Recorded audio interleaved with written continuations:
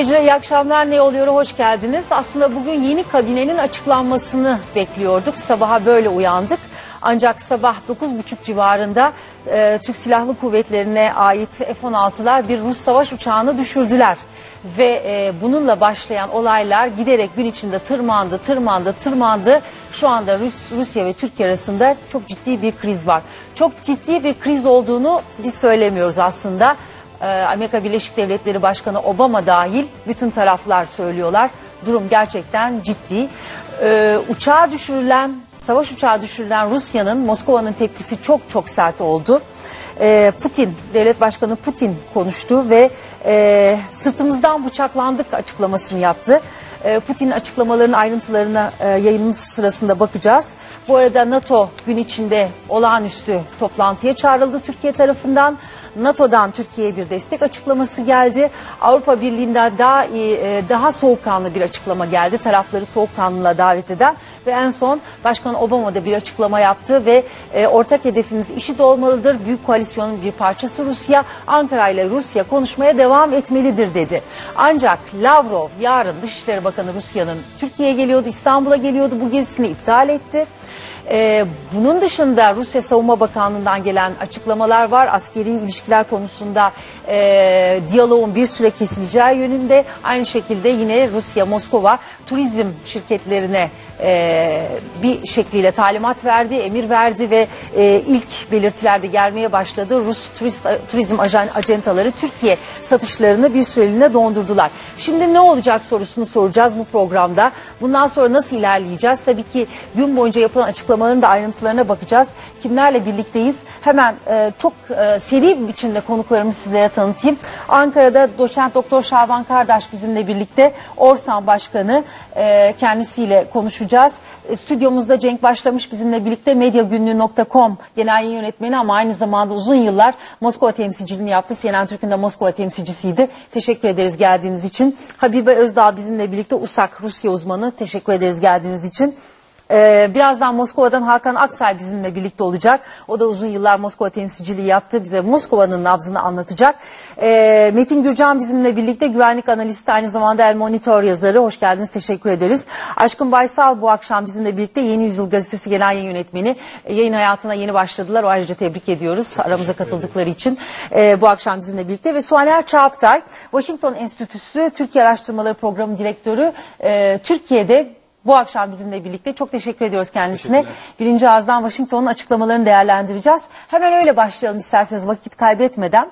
Şimdi Başkan Obama e, önemli açıklamalar yaptı aslında. Dedi ki e, serin kanlı olmalıyız. Bu durumda yapılacak en iyi şey serin kanlı olmak. Daha fazla istihbarat paylaşımı olması gerektiği böyle durumlarda ortaya çıkıyor. Ankara ve Moskova görüşmeli, konuşmalı, irtibatı kesmemeli. Ortak hedefimiz işit.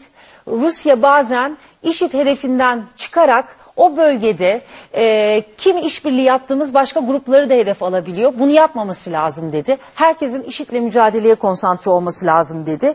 Ama NATO sınırlarında çok ciddi bir durumla karşı karşı olduğumuz kesin dedi. Ve e, Türkiye'nin de bir şekilde e, bu müdahaleden dolayı haklı olduğunu söyledi. E, ama Rusya'dan da vazgeçemeyiz çünkü geniş koalisyonun da bir parçası dedi. Yani aslında soğukkanlılığa davet ediyor. Soner Bey şimdi siz nasıl e, yorumluyorsunuz? Öncelikle bunu soracağım ama e, unutmadım unutmamam gerekiyor. Cumhurbaşkanı Erdoğan'ın bir açıklaması var. Onu e, koyalım, izleyelim ki konuşacaklarımız daha e, anlamlı olsun. Çünkü Lavrov'un gelişini iptal etmesine kadar aslında Ankara'dan açıklamalar gelmiyordu. Ne zaman ki Dışişleri Bakanı Lavrov gelişini iptal etti, Ankara daha sert açıklamalar yaptı. Cumhurbaşkanı Erdoğan açıklamasını e, dinleyelim ki Soner Bey ile konuşabilelim. Hem e, Başkan Obama'yı hem de Cumhurbaşkanı Erdoğan açıklamalarını. Bugün sabah saatlerinde tüm uyarılara rağmen hava sahamızı ihlal eden bir aidiyeti belli olmayan savaş uçağına angajman kuralları gereği müdahale edilmiştir. Türkiye'nin komşularıyla başka herhangi bir ülkeye karşı düşmanlığı asla söz konusu değildir. Suriye'de bugüne kadar çok daha vahim olaylar yaşanmamasının sebebi Türkiye'nin soğukkanlı tutumudur. 17-25 Aralık darbe girişiminden hemen sonra yaşanan o meşhur MİT tırları ihanetini biliyorsunuz değil mi? Hala utanmadan, sıkılmadan bunları gazetelerine başlık yapanlar var. İşte o tırlar bu bizim bayır bucak Türkmenlerine yardım götüren tırlardı. Şimdi bazıları diyor ki Başbakan Erdoğan diyordu ki onların içinde silah yok. Yahu varsa ne olacak yoksa ne olacak? Ne diyoruz biz? Oraya insani yardım götürüyoruz. Kim onlar? Mağdur, mazlum bizim bayır bucak Türkmen kardeşlerimiz. Biz bunu yaptık. Ülkemizin, hükümetimizin ve şahsımın aleyhine bir algı oluşturabilmek adına bu yardımları sabote edenleri milletimizin asla affetmeyeceğine inanıyorum. Bakın burada yalnız bir şeyin altını çizmem lazım. Bayır Bucak Türkmenlerinin olduğu bölge DAEŞ terör örgütünün olduğu bölge değildir. Kimse kimseyi kandırmasın. Orada sadece Bayır Bucak Türkmenleri vardır. Soydaşlarımız vardır, akrabalarımız vardır. Evet, Cumhurbaşkanı Erdoğan'ın da açıklamaları böyleydi. Soner Bey buyurun. Ee, hem Başkan Obama'nın hem de Cumhurbaşkanı açıklamalarından yola çıkarak. Herkesin aklındaki soru şu, bu iş nereye gider tabii. Önce onu sorayım size ve oradan buyurun devam edin. Şimdi Rusya ilk açıklamalarıyla gerginliği tırmandırmaya çalıştığını gösterdi uçağın düşürmesinden sonra. Gerek Lavrov'un ziyaretinin iptali gerek askeri temasların e, askıya alınması ve hatta Türk-Rus ilişkileri ne kadar önemli, ekonomik ilişkiler ne kadar önemli olduğunu düşünürsek e, turizm boykotu imasını vererek gerginliği tırmandırmak istediğini söyledi. Ben Sayın Cumhurbaşkanı'nın söylediklerinden çıkardığım şu, o gerginliği e, tırmandırmaktan ziyade yatıştırmaya çalışıyor verdiği mesajlarla. Bunun Rusya'ya karşı bir hareket olmadığını, Türkiye'nin kendini e, müdafaa ettiğini, dolayısıyla Rusya ile e, spesifik olmayan bir saldırı olduğunu göstermeye çalışıyor. E, Washington'dan nasıl bakılıyor bu duruma onu da söylemek lazım. Washington'da herhalde şu an herkes ayakta. E, çünkü bir e, Rus-Türk çatışması, eğer bu e, gerginlik çatışmaya giderse um- umarım gitmez. Türkiye NATO müttefiği olduğu için sadece Amerika değil bütün NATO üyelerini de içerecek ciddi bir gerginlik yaratacak ve ben Amerika'nın ilk açıklamalarından şunu çıkartıyorum. Washington bunun Türkiye ile Rusya arasında olduğunu söyleyerek biraz da iki taraflı bir sıkıntı haline dönüştürdüğünü dönüşmek dönüştürmek istiyor belki de NATO ile Rusya arasında bir sıkıntı da, sıkıntı olmasından ziyade. Çünkü eğer bu Rusya ile NATO'nun karşılıklı temas ettiği bir sıkıntıya dönüşürse o zaman Türkiye işte NATO'nun e, kurulu, kuruluş anayasasının dördüncü maddesi, beşinci maddesi gibi makaleleri harekete geçirerek ittifakın kendisine yardımcı olmasını isteyecektir. Herhalde şu anda e, Washington'da Obama'nın en çok istediği bu krizin bir an önce ortadan yok olması. Ee, zaten sizin dediğinizi aslında belki teyit eden bir e, gelişme de oldu. Amerikan Savunma Bak Bakanlığı'ndan bir yetkili şöyle bir açıklama yaptı bugün gün içinde. Dedi ki bu aslında Ankara ile Moskova'nın meselesi. Bizim meselemiz değil. Ee, Amerika Birleşik Devletleri'nin Türkiye ile birlikte yürüttüğü hava operasyonları ve koalisyon e, ilişkilerini etkileyecek bir durum değildir dedi. Herkes biraz Amerika ilgilenmedi ya da e, taca attı topu gibi değerlendirdi ama sizin bu söylediğiniz çerçevede mi okumak Amerika lazım? onu çok taraflı olmaktan çıkartmaya çalışıyor. Daha doğrusu NATO ittifakı ile Rusya arasında soğuk savaşı andıran e, topyekun bir gerilim, gerilim olmasını engellemeye çalışıyor. Çünkü bu olduğu zaman oradan geri dönüş mümkün değil. Dolayısıyla çift taraflı bir gerilim olarak tutarak belki kendisi ya da başka ülkelerin müdahale olup gerginliği azaltabileceği bir senaryo yaratmaya çalışıyor diyebiliriz Washington açısından. E, çünkü e, şimdiye kadar Irak'tan ve Afganistan'dan askerlerini çeken, Libya'da ve Suriye hiçbir şekilde savaşa girmeyi düşünmeyen ve bundan imtina eden Obama'nın şimdi Rusya ile Ukrayna'da savaşa girmeyen Obama'nın e, şimdi e, bu konu üzerinden Rusya ile çatışmaya gireceğini söylemek hiç gerçekçi değil. Dolayısıyla bence Washington'un stratejisi tümüyle de-escalation üzerine yani krizin gerginliğin azaltılması üzerine kurulmuş durumda. Evet. Peki e, tabii diğer soru Moskova niye böyle bir e, tırmanışı tercih etti? E, bir, birinci soru bu. İkincisi e, Türk Silahlı Kuvvetleri neden böyle bir yolu seçti? Çünkü hatırlayacaksak daha önce de böyle bir ihlal olmuştu. O zaman tamam işte Moskova ile görüştük demişti Başbakan Davutoğlu ve istemeden yapılmış bir ihlaldir. Dolayısıyla konuşarak bu meseleyi çözebiliriz. Bu sefer uçak uyarıldı. Evet, e, savaş uçağı. Gerçi bunu Rusya biz ihlal etmedik diyor defalarca. E, ama NATO'dan gelen açıklama işte Türkiye'nin e, söylediklerini doğruluyor e, tarzında oldu. Bir TSK neden bu yolu seçti ya da hükümet diyebilir miyiz? Burada e, bir e, e, ortak bir duruş olduğunu düşünüyor musunuz? İkincisi tabii ki Moskova'nın tutumunu Rusya'nın Türk hava sahasını ihlal ettiği aşikar. Bu NATO tarafından da belgelendi. Ne kadar kısa da olsa. Aslında bu yeni bir şey değil. Rusya Suriye'ye güç kuvvet sevk ettiğinden bu yana bir süredir Türk hava sahasını ihlal etmekte.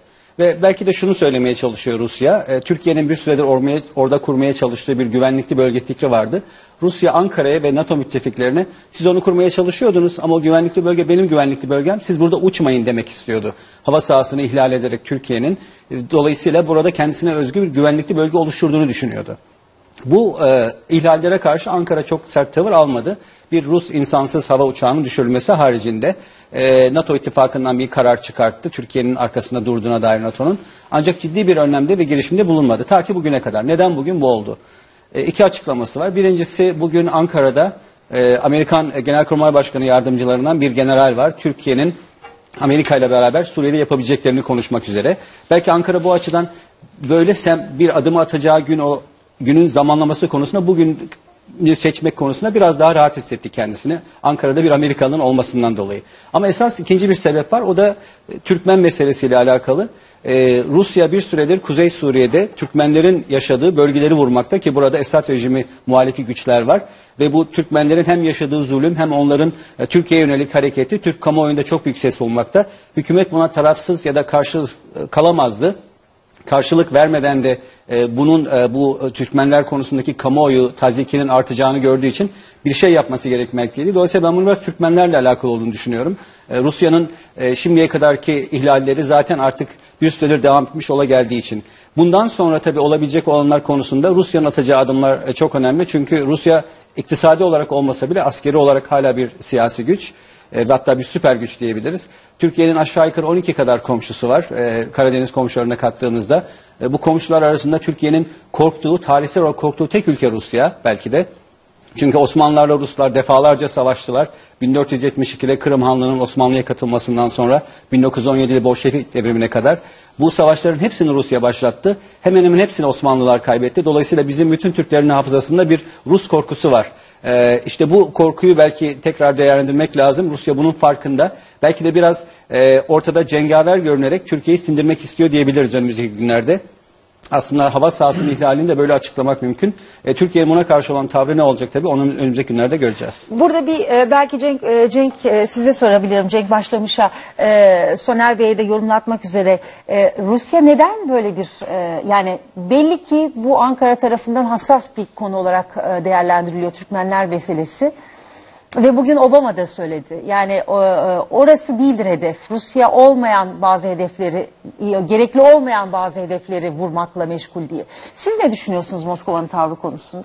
Nasıl analiz ediyorsunuz? Bence e, birincisi Soner Bey'e şurada katılmıyorum. E, belki yani detaya girmediği için yanlış da anlamış olabilirim. Ben Rusya'nın krizi tırmandırdığı fikrine çok katılmıyorum en azından Putin'in açıklamasına kadar e, katılmıyorum. E, çünkü uçak düşürüldü işte saat 9.30 civarında. Ben Rus medyasını izlemeye çalışıyorum. Rus medyası hani ortalığı ayağa falan kaldırmadı. Suriye sınırında bir, e, Türk-Suriye sınırında bir uçak düşürüldü. Tahmini olarak bir Rus uçağıdır. Ama onun dışında yorumdan e, vesaire kaçındılar. Ee, Putin'in sözcüsü Peskov'un açıklaması şu şekilde. Bu çok ciddi bir olaydır. Elbette çok ciddi bir olay ama bir değerlendirmede bulunabilmek için elimizde yeterli veri yok. Beklemek gerekir. Yani krizi tırmandırıcı bir açıklama değil, daha soğukkanlı, daha sağduyulu bir açıklama. Ve Rusya Savunma Bakanlığı'nın ilk açıklaması benim çok dikkatimi çekti. Yani görünüşte çok fazla bir ayrıntı yok da işte 6000 kilometrede e, 6000 metrede vuruldu. Yerden atılan e, bir silahla diyor. Şimdi bence bunun üzerinde durmak gerekiyor. Bu oraya tesadüfen konulmuş bir cümle değil bence. Ben e, Rusların Türkiye'ye bir kaçma payı, bir pazarlık payı, işte belki işte özür dileme neyse işte ama e, kapıyı kapatmamak için F-16'lar düşürmedi mi bu e, uçağı. Ruslar bunu bilmiyor muydu? Bence bu, bu o başından beri biliyorlardı ama e, yangın yerine vermemek için ortalığı, bir kaçma payı vermek için, bir açık kapı bırakmak için böyle bir açıklama e, yaptı. Bu benim çok dikkatimi çekti. Daha hiçbir şey yokken neden yerden atılan bir e, füzeyle, roket her neyse. E, ve e, bana soracak olursanız Rusları kızdıran en az uçağın düşürülmesi kadar Rusları kızdıran belki de daha fazla kızdıran Türkiye'nin NATO'ya başvurması oldu. Yani Putin'in açıklamasında sırtımızdan vurdular derken e, kastettiği şeylerden bir de o. İşte Lavrov Türkiye'ye geliyor. Daha önceki olaylar nedeniyle bir e, mekanizma kurulmuş. E, Ruslar söz vermiş. E, bunlar tekrarlanmayacak diye. E, ve e, Rusya neden Türkiye Rusya'ya bakın böyle böyle oldu işte ihlal etti suçlusunuz e, ama hani oldu bir kere hani büyütmeyelim e, diyerek gidebilirdi belki Türkiye'ye Rusya'ya bu şekilde başvurabilirdi ama hani Rusya yokmuş gibi e, bir tavır takınınca direkt olarak NATO'ya başvurunca Putin açıklaması için ben çok basit bir şey çok kısa bir şey söyleyeceğim. Tabii. Ee, işte uzun yıllardır Rusya'yı izlemeye çalışan bir gazeteciyim. Gürcistan Savaşı, Rus-Ukrayna gerginliği ve zamanında işte Çeçenler meselesi ki bunlar hep Rusya'nın arka bahçesindeki olaylardır. Ben bir Rus liderinin hafızam beni yanıltmıyorsa ilk kez bu Sovyet eski Sovyet coğrafyası dışında bir ülkeye bu kadar sert bir açıklama yaptığını duymadım. E, varsa da hatırlamıyorum. Bu yani olağanüstü sertlikte bir açıklama. Ee, içinde her şey var. Tehdit var. Ee, yani bunun bir adım sonrası aramızda galiba diplomat e, yok. Ee, ama aşağı yukarı ne kastedildiğini hepimiz biliyoruz. Hani ne demektir yani Türk-Rus ilişkileri bundan zarar görüyor. Daha, daha ne diyebilir? Ben e, Rusların çıldırmış vaziyette olduğunu düşünüyorum. Peki ne diyorsunuz Soner Bey katılıyor musunuz? Rusya bence gerginliği tedrici olarak tırmandıracak. Zaten yaptığı da o biraz. Ee, önce demeçler, işte sonra boykot imaları, askeri temasların askıya alınması, Dışişleri Bakanı'nın ziyaretinin iptal edilmesi gibi. Çünkü e, Rusya son bir süredir gerek e, Karadeniz Havzası'nda gerek Orta Doğu'da bir süper güç olarak tekrar boy gösterdi ve e, biraz cilası çizildi bugün olanla. Ona bir karşılık vermesi gerektiğini düşünüyor Putin. Ve e, bu vereceği karşılığın tabii e, ayarını yaparken de Türkiye'nin tepkisini, NATO ittifakının tepkisini göz önüne alıyor. Şu anda herhalde çok yoğun bir telefon trafiği devam etmekte bu üç başkent arasında. E, ve dolayısıyla şunu söyleyebiliriz. E, Rusya'nın e, Suriye'ye girişi e, aslında Türk-Rus ilişkilerinde e, önlenemez bir krizin belki de gelişinin habercisiydi. Çünkü Rus, Türkiye ile Rusya Suriye'de karşı tarafları destekleyen ülkeler. Bugünkü bu uçak düşürme olmasaydı başka bir mesele olacaktı. Ee, Türkiye'nin desteklediği kuvvetlerle Rusya'nın desteklediği kuvvetler savaşıyor. Orada bir e, proxy war tabir ettiğimiz bir aracılar savaşı var. İşte bu Rus uçağının bir e, Türkiye tarafından sağlanan e, silahla muhalifler tarafından düşürülmesi de benzer bir kriz yaratabilirdi. Ya da Türkiye'nin bir uçağının e, Allah göstermesin e, Rusya tarafından ya da Esad rejimi tarafından düşürülmesi de söz konusu olabilirdi. Bunların bir kısmı istemsiz krizler, e, kaza sonucu çıkabilirdi. Bu biraz istemli gibi görünüyor ya da Türkiye müdafaa hakkını kullandı diyebiliriz.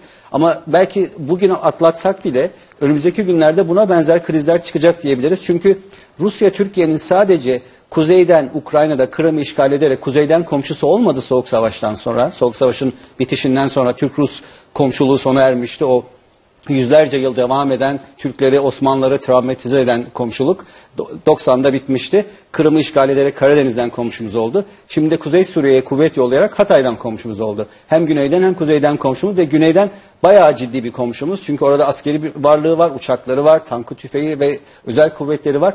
Dolayısıyla bu krizi bugün atlatırsak ki umarım atlatırız.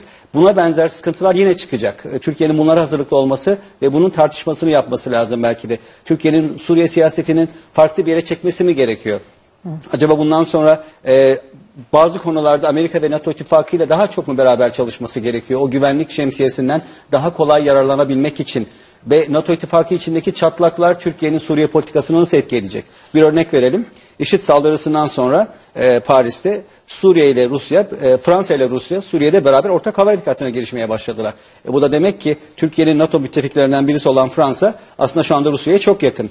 Bu yarın bu NATO konseyine gittiğinde bu görüşme fikri ya da Rusya'ya karşı önlem fikri belki de Fransa ve ona yakın bazı ülkeler çok fazla sıcak bakmayacaklar. Ee, Rusya'ya olan askeri ilişkilerini Suriye'de bozmamak için. Dolayısıyla Türkiye'nin Suriye politikasını bence esnekleştirmesi gerekiyor. Çok ulvi amaçlarla başlayan bir politikaydı bu. Oradaki demokrasi hareketine destek vermek amacıyla. Ama o demokrasi hareketi önce bir demokrasi ayaklanmasına dönüştü. Sonra bir iç savaşa dönüştü. Sonra içinde cihatçıların olduğu bir iç savaşa dönüştü. Türkiye hali orada demokrasi ayaklanmasına destek veriyormuş gibi yapamaz. Çünkü karşısında ciddi bir iç savaş var ve iç savaşın aktörlerinden birisi olan Türkiye belki de en direkt olsa bile. Peki e, siz bizden birazdan ayrılacaksınız ama sizi bulmuşken bir Washington e, tarafını da birazcık konuşayım. Tabii E, ondan sonra biz e, geri kalan konuklarımla e, tartışmaya devam edeceğiz.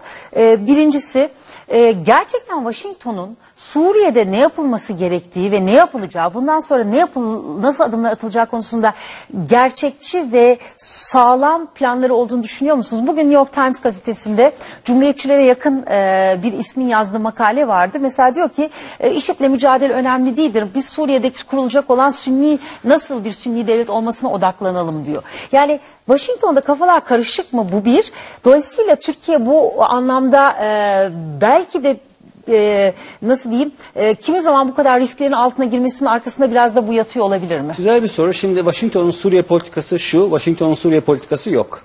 Ee, Suriye'deki rejimin devrilmesi, IŞİD'le ciddi anlamda bölgesel mücadelenin yürütülmesi konusunda politika yok.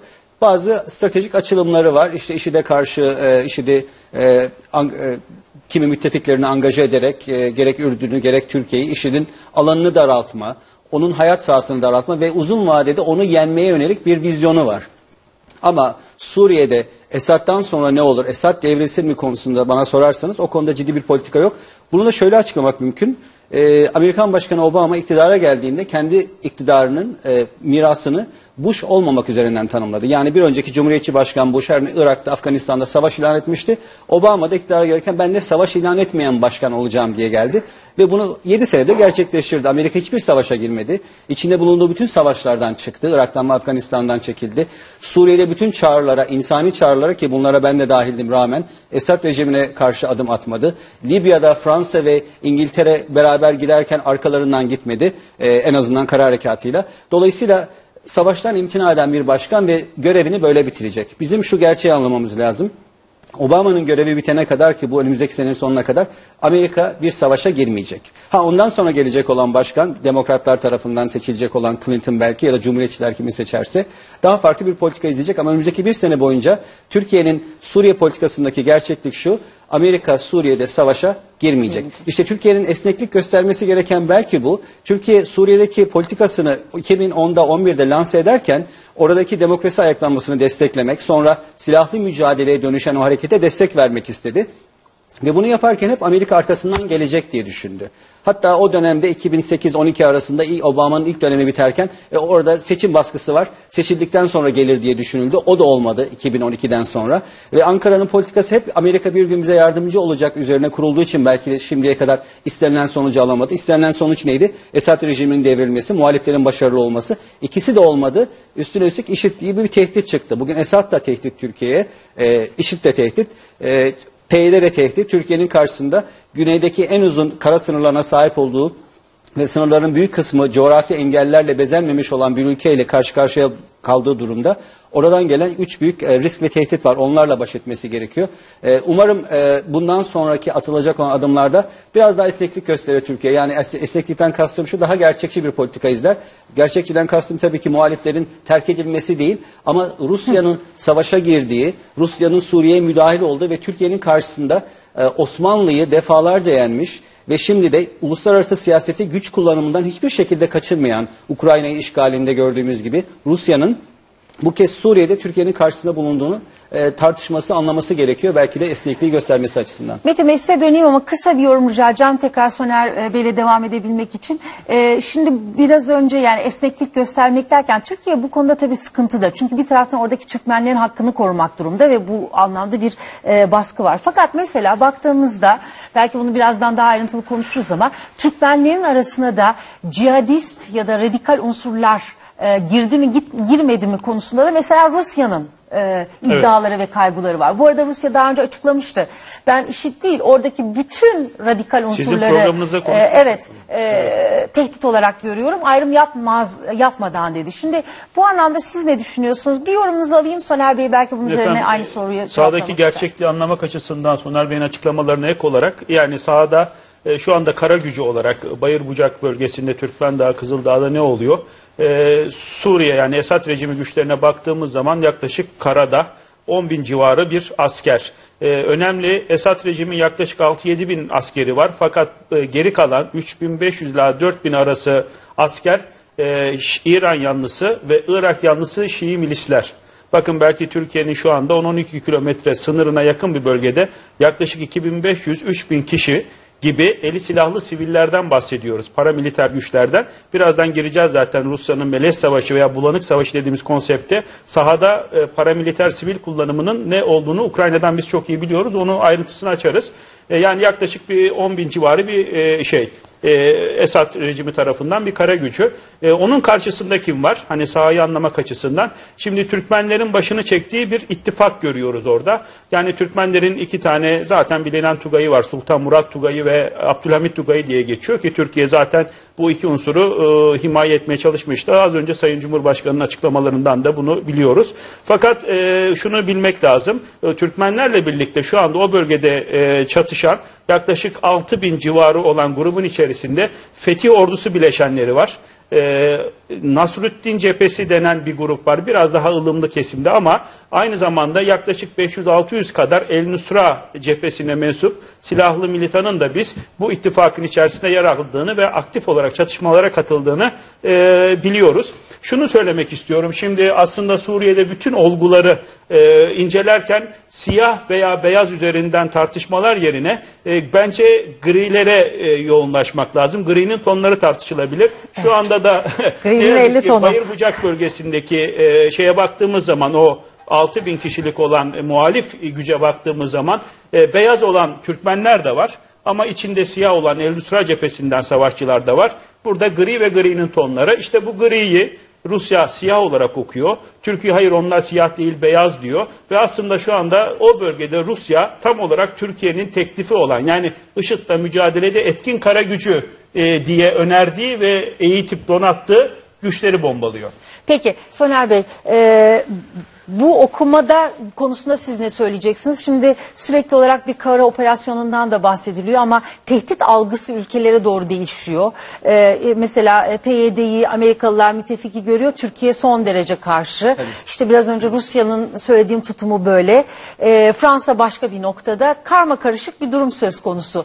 Orta ve kısa vadede siz nasıl görüyorsunuz? Biraz önce dediniz telefonlar ediliyordur şu anda Washington'da her yerde ama ne görüyorsunuz? Ya bir kere hava operasyonları derinleşecekse bunu alanda icra edecek kara operasyonları beklemek e, durumunda mıyız? Ve nasıl görüyorsunuz bu hedef? Metin Bey güzel saplamalar yaptı. Şimdi Suriye'deki e, çarpışan tarafların ve onların hamisi olan devletlerin hepsinin temel hedef, nihai hedefi farklı birbirinden. Türkiye Esad'ı devirmek istiyor. Amerika IŞİD'i bitirmek istiyor. Rusya Esad'ı korumak istiyor İran'la beraber.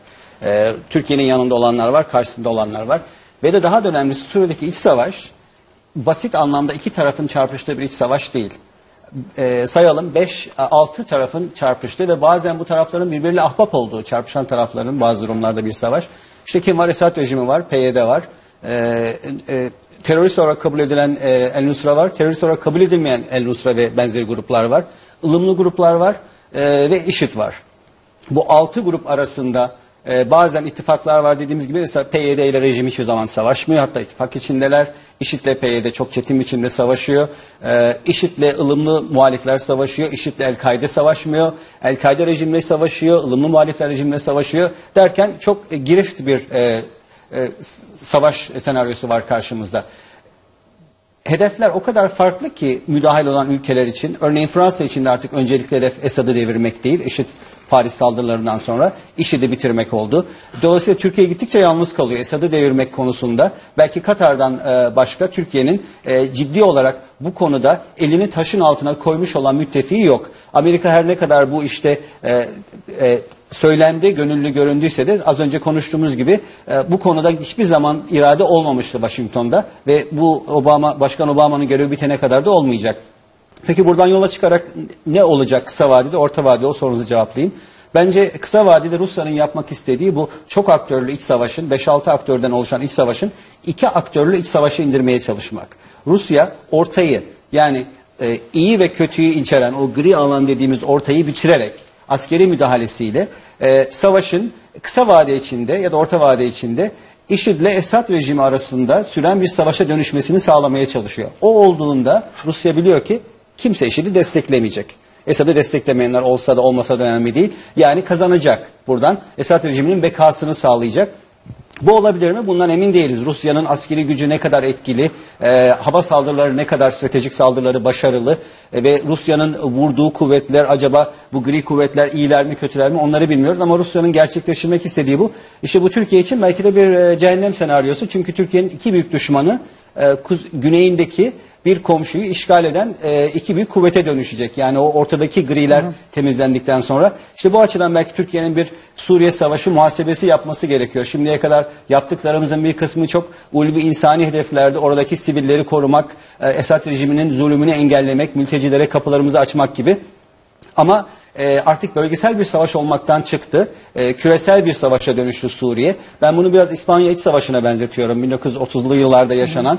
İspanya ile bu e, sınırlı kalmayan Nazilerin, komünistlerin, e, cumhuriyetçilerin e, ve batıdan gelen güçlerin savaştığı ve o, o dönemin ideolojik akımlarının cirit attığı ve boyun gösterdiği bir, e, boy gösterdiği bir savaştı. Suriye'de biraz ona benziyor bugünlerde. E, İspanya Savaşı'na benziyor. O, inşallah sonu ona benzemez. Çünkü İspanya'da e, faşistler kazanmıştı. Cumhuriyetçileri dışarıdaki dünya ter, terk edince. Umarım bu kez burada iyiler kazanır ama göreceğiz. Ee, bir cümle Obama'nın ya da Washington'un daha e, ağırlığını koyarak devreye girmesini yarından itibaren bekliyor musunuz? Çok zor. IŞİD'den sonra devreye girmeyen bir Obama yani en en yakın müttefiklerinden biri olan Fransa'ya IŞİD saldırısı yapıldıktan sonra IŞİD'e karşı Suriye, Irak'taki IŞİD varlığına karşı harekete geçmeyen, kara kuvvetleri gibi önerileri getirmeyen bir Obama'nın bundan sonra ben harekete geçeceğini zannetmiyorum. Yani. Dolayısıyla Viyana'daki toplantı çerçevesinde belki iki tarafı e, diyaloğa davet ederek bu şekilde e, krizi, tansiyonu evet, indirmeye çalışacak. İki taraflı tutarak krizi belki Amerika kendisine ara buluculuk görevi biçerek krizdeki gerilimi azaltmaya evet. çalışacak.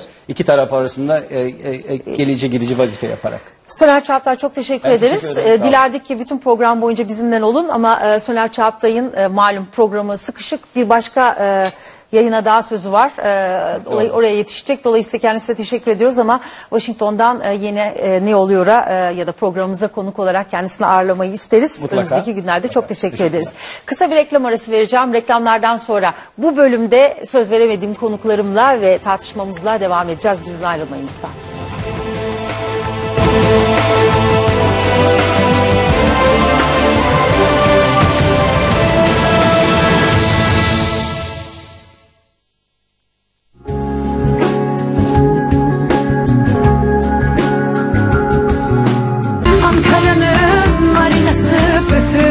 Püfür havası Yok mu ey bir görünüm muhteşem manzarası Şimdi Marina Ankara'ya topraktan girin 500 bin liralık daireyi 400 bin liraya getirin. Marina Ankara, Sinpaş'tan 444 1974.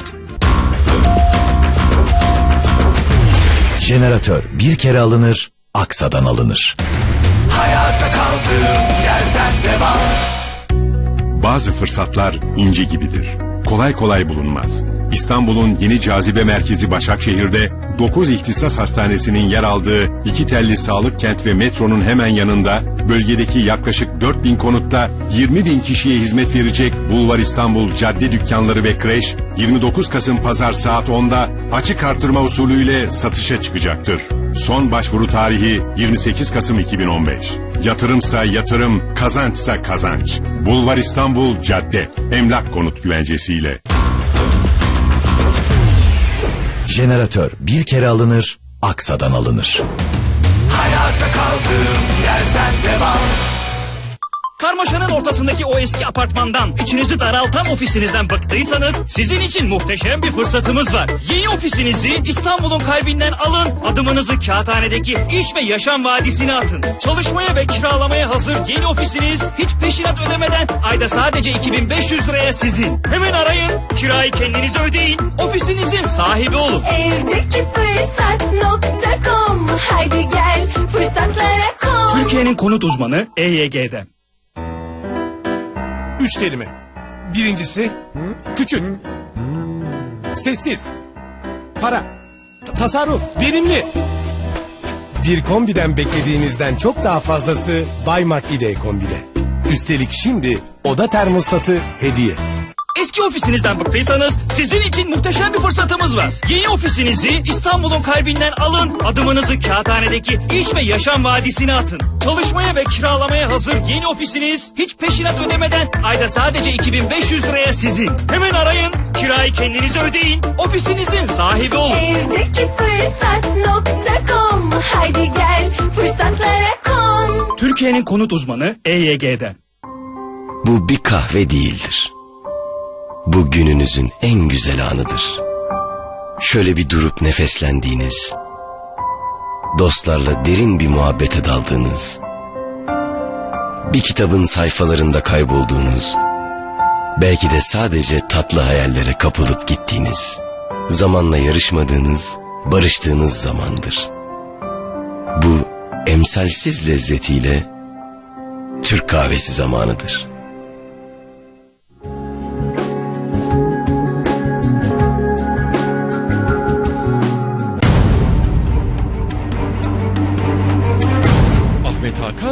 Tarafsız bölge yine cesur, yine tartışmalı, yine çok konuşulacak. Ahmet Hakan'la tarafsız bölge yarın 21'de.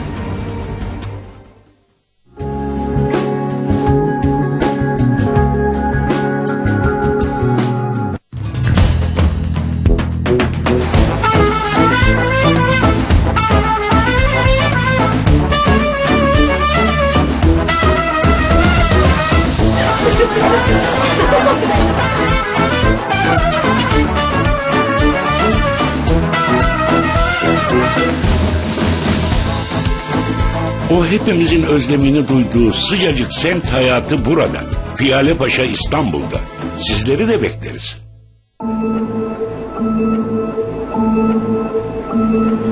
Sihir yok.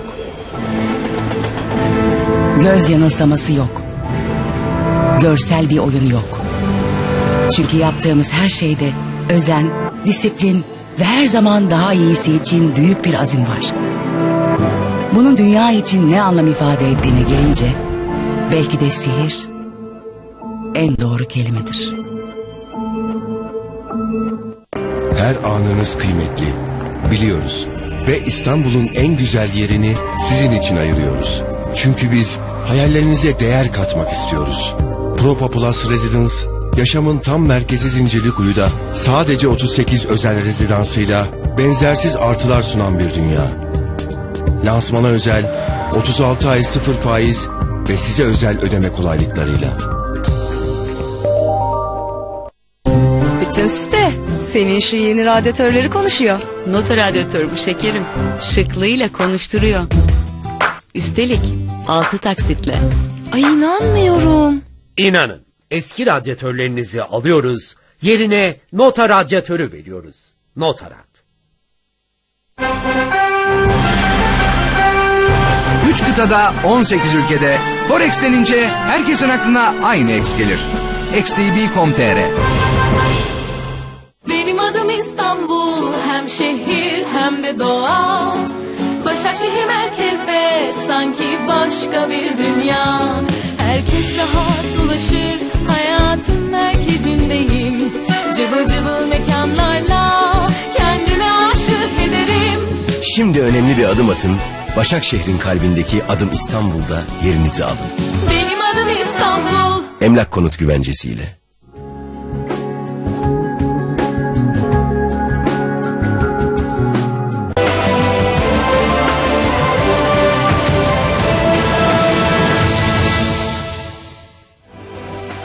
Evet devam ediyoruz. İlk bölümünde hızlı hızlı geçtik konuları. Şimdi e, hemen Ankara'ya döneyim. Şaban kardeş karşımda. Ona e, söz vererek başlayayım. Şaban Bey, e, şimdi ilk bölümde Soner Çağatay dedi ki e, Türkiye e, oradaki örneğin Türkmenlerin çıkarlarını asla geride bırakmadan, onları göz ardı etmeden, insani yardımlarını, bugüne kadar sürdürdüğü yardımları devam ettirerek ancak durumu e, göz önüne alarak bir esnemeye gitmek zorunda. Çünkü e, karşımızda bir Rusya gibi bir e, dev var ve gelinen nokta bu. Obama da herhangi bir savaşa girmeyecek. Siz e, bu esneme konusunda aynı fikre katılıyor musunuz? Soner Bey artık burada değil. Dolayısıyla hani onun e, sözleri üzerinden değil belki ama bu fikri savunanların e, fikrine katılıyor musunuz? Bunu sorarak başlayayım. Bu krizi nasıl okuyorsunuz? Şimdi tabii e, esneme e, konusunda şimdi esneme dediğimiz zaman e, pozisyonun e, çok aşırı katı rigid olduğu gibi bir anlam çıkıyor. Ben bir kere e, Suriye krizinin e, başından itibaren e, Türkiye'nin e, politikasının evrimine baktığımız zaman bu kadar da e, katı, rigid, değişmeyen e, bir politika olarak adlandırma ne kadar uygundur? Bu soruyu e, ortaya atmak gerekir diye e, düşünüyorum. Zaman zaman Türkiye'nin politikası da evrildi. İki, e, Türkiye'nin halihazırdaki politikasının ana hatlarına, önceliklerine e, bakmak gerekiyor. Siz de belirttiniz, Soner Bey de ilerisi için zaten buna e, gönderme yaptı. İnsani vurguyu sürdürmek ki Türkiye bunu e, şu ana kadar sürdürdü. Gelecekte de sürdürecektir. Fakat burada asıl soru bu insani vurgunun ötesinde e, sahadaki çatışmaya dönük olarak e, militeri, askeri angajman e, ne düzeyde e, olacak? Burada Türkiye'nin her ne kadar e, işte Türkmenlere destek, diğer e, uluslararası e, koalisyonla birlikte e, Özgür Suriye ordusu şemsiyesi altındaki farklı unsurlara e, destek e, politikası devam etse de hali hazırda e, sahadaki diğer aktörlerin angajmanlarıyla kıyaslandığında çok daha temkinli, e, geride duran bir angajman düzeyi var. E, buradan da Türkiye'nin e, bir esneyerek veya farklı şekillerde Türkiye'nin geri adım atması gibi bir durum söz konusu değil bence. O açıdan önümüzdeki dönemde fazla değişiklik beklenmiyor. Şunu vurgulamak istiyorum ben burada. E, özellikle bu e, günkü e, Rus uçağının e, düşürülmesinin e, Türkiye açısından bakıldığındaki e, gerekçelerine bakıldığında e, burada yine e, bir savunma refleksi ve krizi tırmandırmama, geride durma refleksi çok kuvvetli. Hatırlarsanız 2012'de Haziran ayında e, Türk uçağının e, düşürülmesi e, sonrasında e, Türkiye bu angajman e, kurallarını e, koymuştu. Gerek o uçağın e, düşürülmesi olayına Türkiye'nin e, verdiği tepki ve sonrası dönemde e, Türkiye'nin öncelikleri aynı kaldı. Sınır aşan e, bir nitelikte doğrudan askeri angajmana girişmeme. Şimdi Türkmenler özelinde de baktığımız zaman işte son bir hafta 10 gün içerisinde buradaki hareketlilik çok net bir şekilde görüldü ki Türkiye sınırın ötesinde e, bir askeri angajmana doğrudan girmekten imtina ediyor ve edecek. E, bu Rus uçağının düşürülmesi de doğrudan oradaki Türkmen e, köylerinin yerleşim yerlerinin bombalanmasından dolayı e, Türkiye'nin e, giriştiği bir eylem değil. Yine de o savunma refleksinin e, olduğu angajman kuralları çerçevesinde meşrulaştırılan e, bir eylem. Bu açıdan bakıldığında e, politikada e, çok değişiklik olacağını ben düşünmüyorum. E, çünkü e, sahadaki e, duruma baktığımız zaman insani e, kaygılar e, giderek derinleşiyor. Rusya'nın e, müdahalesi e, sonrasında e, bu konudaki e, istatistikler e, ortada. Her ne kadar IŞİD e, bahanesi ile oraya girildiği söylense de, terörizmle mücadele söylense de Rusya'nın saldırıları e, diğer muhalif alanları ve sivil yerleşim e, bölgelerini hedef aldı. Bunun devam ettiği bir ortamda, Esad rejiminin yine sivillere dönük eylemlerinin devam ettiği bir ortamda Türkiye'nin esneyerek ya da farklı şekilde insani kaygılarından vazgeçmesini beklemek e, biraz e, bana mantıklı gelmiyor. Ya- Öte yandan askeri angajmanını nasıl sürdürecek? E, burada da e, biliyorsunuz bir yandan belli muhalif unsurlara verilen destek var.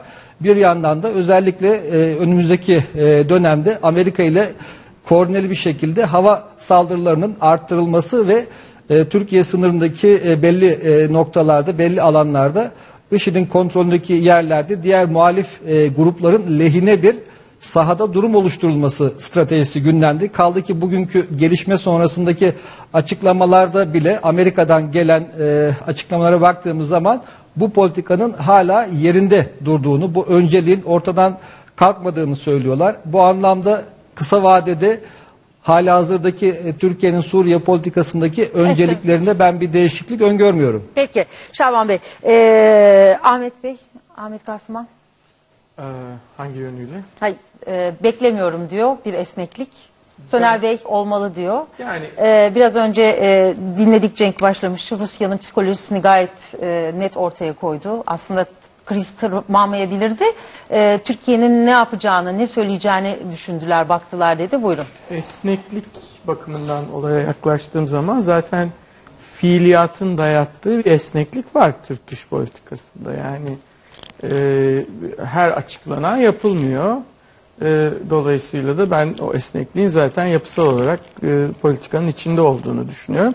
Ama bu esnekliğin seçimlerden mi yani bilinçli tercihlerden ve politikanın genel kurgusundan mı yoksa Türkiye'nin aslında gerçekçi bir gözle değerlendirdiğimizde dünya politikasında durduğu yer yani slogan ve açıklamaların ötesinde gerçekten durduğu hiyerarşik yerle mi alakalı olduğunu yani orta büyüklükte bir devletin yapabileceklerinin de orta büyüklükte bir devletin yapabilecekleriyle sınırlı olduğu e, gerçeğinden mi kaynaklandığının e, tartışılması gerektiğini düşünürüm ve bence e, ikincisidir. Yani Türkiye sadece yapabileceklerini yaptığı için her dediğini yapamadığından ve her yaptığına da pozitif karşılık alamadığından sonunda gücünün nispetinde ne varsa oraya doğru geri çekilmek mecburiyetinde kalıyor.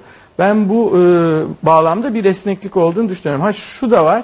Türk dış politikası tabii bu işin başlangıcından bugüne hiç transforme olmamış da değil ve biraz evvel e, Şaban Hoca'nın söylediği e, noktada bir e, dirayeti olduğunu da görüyoruz. Yani tek başına oraya müdahale etmemeyi e, kesin surette benimsemiş bir e, tavır içerisinde e, bunun da taraflara malum olduğunu düşünüyorum ve bu bence Türkiye'nin Suriye'ye dair yaptıklarının içerisinde en akıllıcası. Yani oraya tek başına girmemek konusundaki dirayet çok önemli. Bu, bu noktada da esneklik göstermesi gerektiğini düşünmem. Ee, ama yani başlangıcından itibaren bakarsak e, hep bir teması oldu Türk dış politikasının. Hani politika esneklikleri bir yana Suriye'ye ilişkin.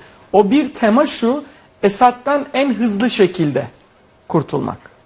Ee, bu noktada da bir esneklik olacağını ben düşünmüyorum. Çünkü artık fiili olarak e, bu dış politikanın bizi taşıdığı ve e, Suriye'deki fiiliyatın da bizi taşıdığı yer e, bu bir an evvel Esad'dan kurtulmayı Türk dış politikası açısından sürdürülebilirliği bakımından, nefes alması bakımından, sıkışmışlığından kurtulması bakımından e, gerçekten bir hayat öpücüğü e, anlamında kurtarabilir vaziyette. Öte taraftan tabii e, yapabileceklerinin e, sınırının nereden geçtiğini bu olaydan sonra da değerlendirmek ve bu bağlamda esnekliğini Türk dış politikasının değerlendirmek de mümkün. Öyle baktığım zaman da çok kısa ifade edebileceğim bir şey var. Şu anda Rusya olağanüstü meşru bir vaziyette. Bu söylediğimi sağa sola çekme e, zeminine bırakmadan e, biraz açayım. E, son derece meşru vaziyette ne demek? Şu. Bir tane devlet var karşınızda. Elindeki e, nükleer silahlarla dünyayı e, yerinden hoplatabilir vaziyette. Yani hak, ekseninde hoplatabilir vaziyette dünyayı. E, ve bu manada hala bir süper güç. Bir askeri müdahalede bulunuyor ve bu askeri müdahale esnasında Türk hava sahasını ihlal ederek uluslararası hukukun hoş görmediği bir eylemin içerisine giriyor. Bunda bir e, şey yok, bunda bir istifam yok. Ama gerçekler gözünden baktığımızda olaya uçağa düşürülüyor. Şimdi Ruslar en yüksek perdeden bunun karşısındaki açıklamalarını yapacaklardır. Ve bence hızla da karşılıklarını vermeye başlayacaklar. Ama e, bu karşılıkların arasında ben fiilen Türkiye'yi silahlı olarak zora düşürecek bir yeni hamlenin olacağını düşünmüyorum. Bu ne demek? Hemen toparlayayım. Bu ne demek? Bu şu demek. O hamleyi yapmadıkları zaman kendilerinin birinci derecede muhatap oldukları güçler, NATO'nun büyük devletleri ve Amerika Birleşik Devletleri'nin gözünde gücünü kullanmak noktasında sınır uygulamış olacak.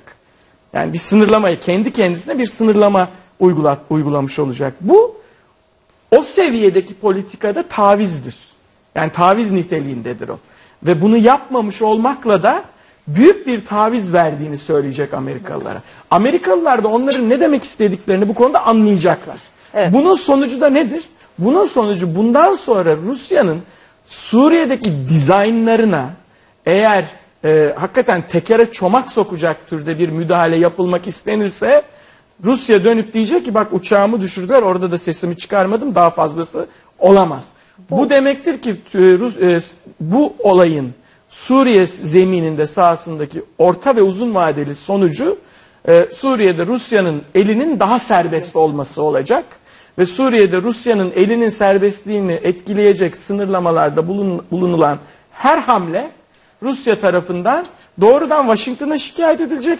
Soner Bey'le zaten ben Evet. e, uzunca bir zamandır hem fikrim yani Soner Bey'le hem fikir değil mi? 2000 e, lerin yani bu olay başladığından beri Amerika'nın girmeyeceğini düşünüyorum buraya. Amerikalılar da bunu hakikaten Rusların çok e, iyi niyetli bir tavrı olarak okuyacakları için fazla uzun boylu bunun üstüne gitmeyeceklerdir. Ee, ilginç bir tehdit. Katılıyor musunuz?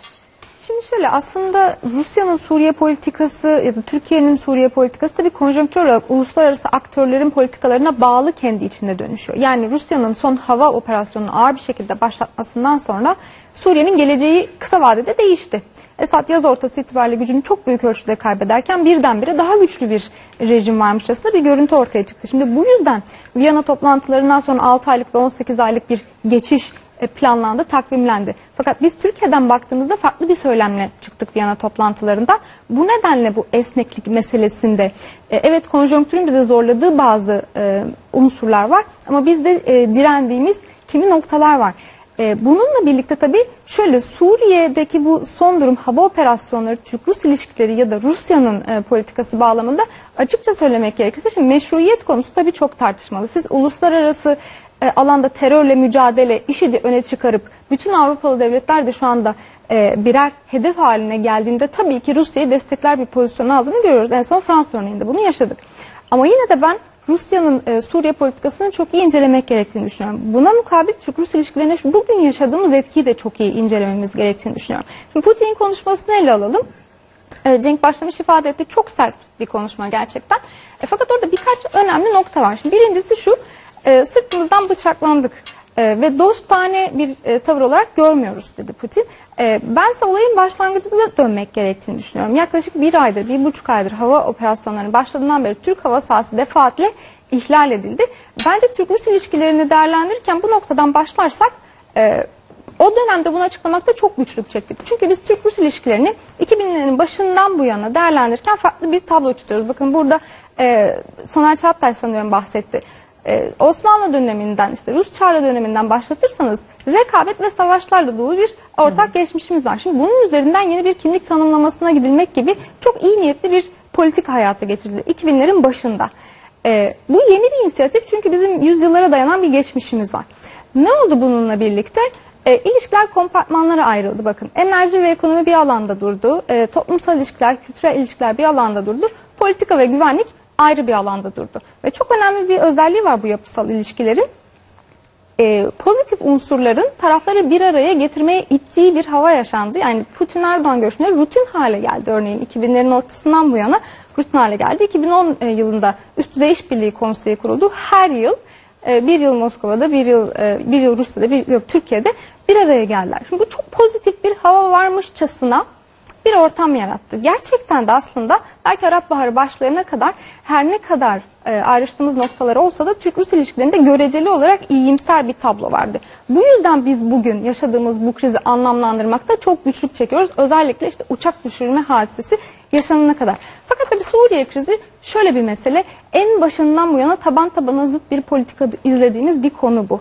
E, meselenin bugün bu hale gelmiş olmasının nedeni bence Rusya'nın küresel alanda tabii ki kendi iddialarını meşrulaştırmak için ya da gücünü e, belki konsolide etmek için Türk hava sahasını ihlal etmeye varacak şekilde böyle bir politika izlemeye çalışıyor. Nedir o? İşte güvenli bölgeyi belki masada tartışma dışı bırakmak ya da kendi realitesini bölgeye uygulamak. Fakat bunu yaparken tabii ki egemen bir devlet olarak pek de dostane olmayan bir şeye Türkiye bugün karşılık vermek durumunda kaldı. Meşru olan bence uluslararası hukuk açısından konuşursak budur. Çünkü e, her devletin ulusal çıkarları vardır ve burada ayrışılabilir ama e, bunun da sınırları vardır. Yani Rusya Suriye politikasında istediği her şeyi Türkiye'ye rağmen ya da diğer aktörlere rağmen tabii ki uygulayabilir değildir. Peki bunu e, birazcık ayrıntılı konuşalım istiyorum. Hem Ahmet Bey'in dediğini hem sizin dediğinizi. E, Rusya'nın eline önemli bir koz geçti dedi. E, Ahmet Kasıman bunu kullanacaktır dedi.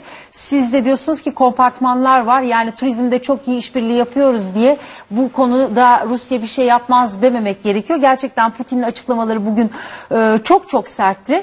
Öyle ki e, Rusya uzun zamandır IŞİD kontrolündeki kuyulardan Türkiye'ye giden petrolden haberdar gibi bir açıklama bile yaptı. E, ve e, bir e, ülkenin e, koruması, ordusunun koruması altında bu militanlar açıklaması yaptı. Biraz bunun ayrıntılarına bakacağız. E, birazdan bizden ayrılmayın lütfen. Bu iki meseleyi konuşacağız.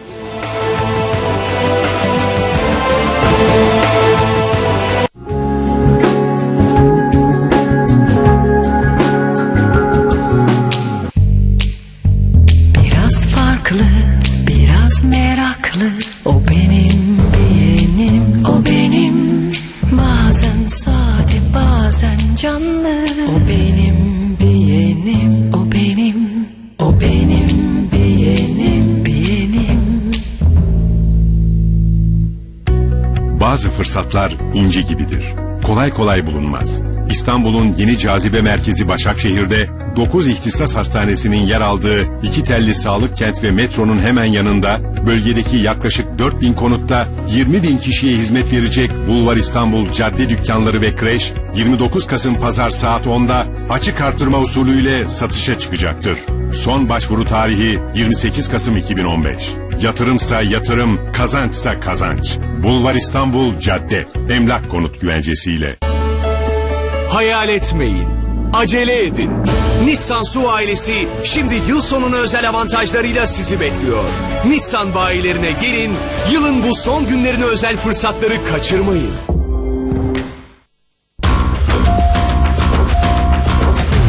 Jeneratör bir kere alınır, Aksa'dan alınır. Hayata kaldığım yerden devam.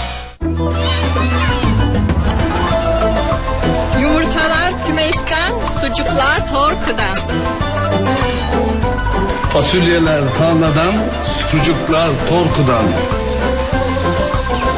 Domatesler bahçeden, sucuklar torkudan. Güvenle ikram edebilmeniz için bundan sonra sucuklar Torku'dan. Afiyet olsun. Jeneratör bir kere alınır, Aksa'dan alınır. Hayata kaldığım yerden devam. Bu bir kahve değildir. Bu gününüzün en güzel anıdır. Şöyle bir durup nefeslendiğiniz, dostlarla derin bir muhabbete daldığınız, bir kitabın sayfalarında kaybolduğunuz, belki de sadece tatlı hayallere kapılıp gittiğiniz, zamanla yarışmadığınız, barıştığınız zamandır. Bu emsalsiz lezzetiyle Türk kahvesi zamanıdır. Kış yola geldi. Şimdi 400 liralık 4 adet Petlas kış lastiği tam 7 Mercedes CLA 200 kazandırıyor. Kış lastiğinizi Petlas'tan alın, kışa Mercedes'le girme şansını kaçırmayın. Üstelik kart finansı özel peşin fiyatına 8 taksitle. Petlas, Türkiye'nin lastiği.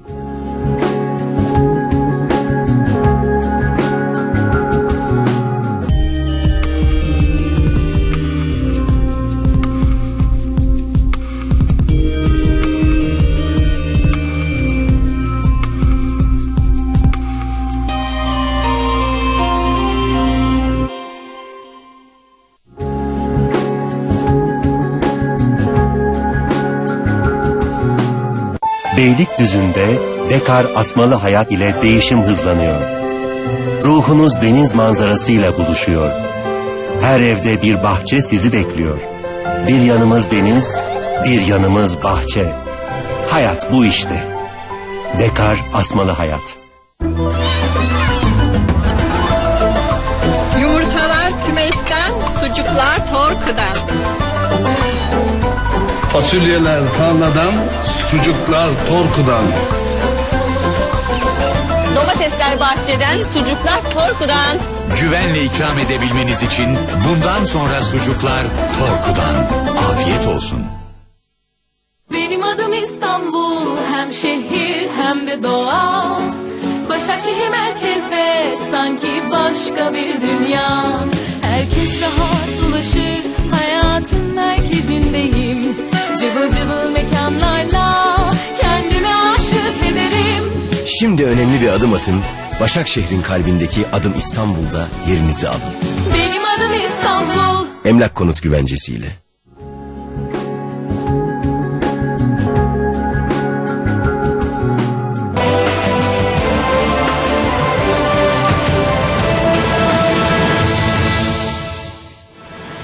Evet ne oluyor devam ediyoruz. Şimdi Moskova'ya döneceğiz. Rusya Savunma Bakanlığı'ndan bir açıklama gelmişti. Türkiye ile askeri iletişimi askıya aldık diye.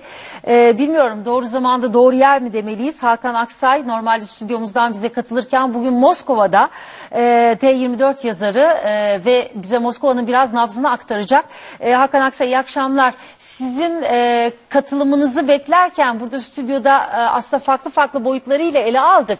E, bir kere Moskova e, sizce tam olarak ne yapmaya çalışıyor? Stratejisi nedir? Bilerek mi tırmandırdı yoksa gerçekten çok öfkelendi mi de tırmandırdı bu meseleyi? Lavrov'un gelmemesine e, nasıl karar verildi? Çünkü akşamüstü saatlerine kadar aslında gelmeyeceği yönde bir açıklama yapılmamıştı mesela. Oradaki kırılma noktası ne oldu merak ediyoruz. Ve Türkiye ile askeri iletişim askıya alındı. Bundan ne anlamamız gerekiyor? Size bırakayım da bütün bunları seyircilerimiz için bir anlamlandırın lütfen.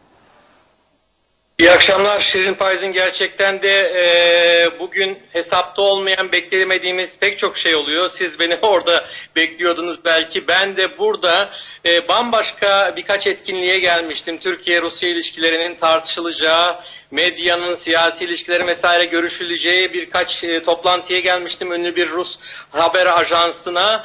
Ama e, bugün e, çok farklı bir gün oldu. Tam gün de değil belki öyle bir yarım gün ki e, abartma diyebilirsiniz ama benim bu ülkede geçirdiğim 26 yıl içinde bu yarım gün olağanüstü farklı, çok yoğun, e, epeyce sıkıntılı bir yarım gün oldu gerçekten. Sabah saate gelene kadar e, e, bitmeyen sorular, susmayan telefonlar gerek Türkiye gerek buradan e, gazeteciler, e, bilim adamları tanıdığımız tanımadığımız pek çok şey insan ve okuduklarımız, gördüklerimiz ve Rusya'daki genel ortam e, Türkiye belki de yıllardan beri ilk kez e, bu kadar çok konuşuluyor Ruslar arasında.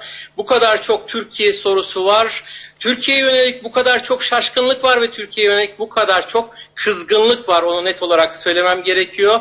E, Türkiye ile Rusya ilişkileri çok iyi gelişiyor. Stratejik ortak mı desek e, işte gaz, enerjiden e, turizme kadar vesaire pek çok şeyi konuşurken bugün e, öyle şeyler söyleniyor ki Moskova'da Türkiye-Rusya ilişkilerinin e, bu ilişkiler kapsamında yapılan bütün anlaşmaların askıya alınması bile gündeme getiriliyor ve üstelik bunu gündeme getiren sokaktaki adam veya e, mesleğe yeni başlayan bir gazeteci değil.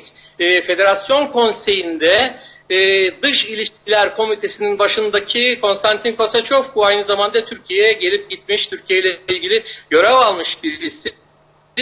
Duma'da yapılan parlamentonun alt kanadında yapılan açıklamalarda Türkiye'ye gidişlerin, turist olarak gidişlerin yasaklanmasından tutun da işte sizin de soruda belirttiğiniz gibi askeri ilişkiler, siyasi ilişkilerde bir şekilde bunun yansımasını bulması, Türkiye'ye şiddetle karşılık verilmesi gibi olağanüstü yoğun bir gündem bugün Rusya'da belki de en çok telaffuz edilen kelime Türkiye e, en azından bana e, öyle geldi. E, Türkiye'nin Rusya uçağını düşürmesi Moskova'ya e, bir meydan okuma olarak anlaşılıyor ve e, bundan sonra e, Moskova'nın tavrı anlaşılan değişecek. Şimdi bugünkü e, bana yönelik sorulardan biri de enteresan bir soru şuydu bir Türk tarafından yöneltilen Rusya'nın gelenekleri vardır, alışkanlıkları, refleksleri vardır, diplomasi üslubu vardır. Ya bu üsluba göre ne olur derken e, şimdi o soru bana şunları anlattı. Türkiye-Rusya ilişkilerinde son yıllarda Suriye konusuyla birlikte ciddi sıkıntılar yaşıyoruz. Bu sıkıntılardan birkaç tanesi son derece önemliydi. Ee, ilk bölümlerde neler konuştuğumuzu bilemiyorum, izleyemedim ama en azından iki şeyi örneği vereyim. 2012'de e, biliyorsunuz Haziran ayıydı galiba e, Moskova'dan Şam'a giden uçak zorla indirildi. Ankara'da indirildi, arandı, daha sonra bırakıldı. Bu e, pek diplomatik sayılmayacak üslup, Türkiye'nin üslubu Moskova'da sarsıntı yarattı ama Ruslar sustular, tepki göstermediler. Bir başka örnek, ondan yıl bile geçmemişti. E, bu Rusya-Ukrayna anlaşmazlığı çatışmaları sırasında biliyorsunuz Malezya uçağı düşürüldü ve herkes acaba Ruslar mı, Ukraynalılar mı, kimdir bunu düşüren derken Türkiye'de bir tek kişi çok net herhangi bir gerekçe göstermek istedi ama çok net bir fikir e, beyan etti. Bunu düşüren belli ki Ruslar dedi. Bu Türkiye'nin e, o zamanki başbakanı e, Sayın Erdoğan'dı. Bu konu da çok diplomatik bir şey olmayarak algılandı. Moskova'nın hatta epeyce buna tepki gösterdiğini, içten içe hissettiğini biliyorum ama bunu da yansıtmalılar. Yani Rusların epeyce bir sabır düzeyleri var. E, pek bir şey yansıtmama,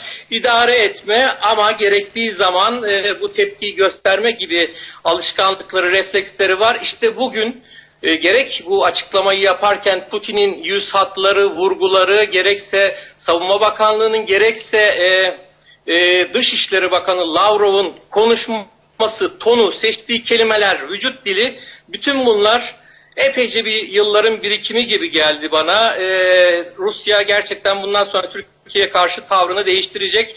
Savunma alanı, başka alanlar yani savaş mı açacak? Hayır. Ama e, kuşkusuz askeri bir gerginliğin olduğunu söylemek, bunu geçiştirmemek gerekiyor. Ama e, bir sürü alanda Rusya'nın tavrı değişecek. Turizm konusu gündeme geldi. İşte e, Türk-Rus turizmine e, en büyük baltalama yapılmış oldu. Artık bundan sonra e, 3 milyon turist, 4 milyon turist vesaire bunu beklemek mümkün değil. Türkiye'nin milyarlarca dolarlık bir zarara girdiği ortada. E, Evet. pek çok alan olacak kuşkusuz ama ben şuraya dikkat çekmek istiyorum Şirin Faiz'in. E, hatırlarsanız Antalya G20'de e, o finalde e, Putin'in bir açıklaması olmuştu. IŞİD'e karşı mücadelede e, ona destek, daha doğrusu IŞİD'e destek veren ülkeler var. 40 kadar ülke ve bunların bir kısmı aramızda G20 ülke demişti ve toplantılarda bazı e, belgeler ve bilgiler aktardığını partnerlerine, toplantının katılımcılarına ve e, gerek uçaklardan gerekse de özellikle uydulardan çekilen fotoğraflarla IŞİD petrolünün nasıl kaçak, nasıl illegal bir şekilde e, daha e, yaygınlaştırıldığını, alındığını, bu kaçakçılığın bu, bu tehlikeli bir terör örgütüne örgütüyle e, petrol alanında işbirliği yapanların fotoğraflarını belgelediğini de söyledi ama bunların kim olduğunu açıklamadı.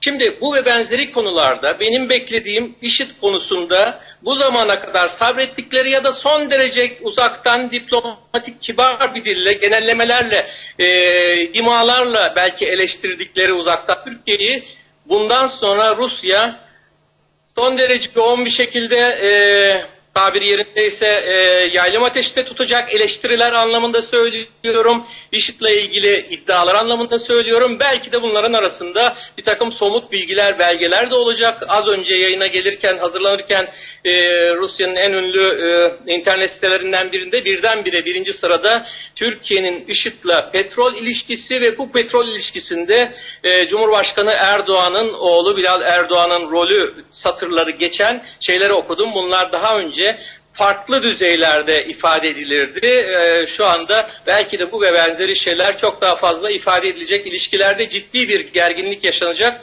Bu gerginlik e, Rusya bu gerginliği akıllıca kullanmak için özellikle Fransa'nın son tepkisi ve yeni bir koalisyon oluşma, Rusya'nın tezlerine yakın bir koalisyonla ana hedefin IŞİD'le mücadele olarak artık tekrar bir netleştiği ortamda Türkiye'yi bu hedefe uymamaktan şu ya da bu şekilde IŞİD'e destek vermemekten dolayı suçlayarak öteki e, ortaklarından, partnerlerinden de yalıtlama yoluna gidecek gibime geliyor.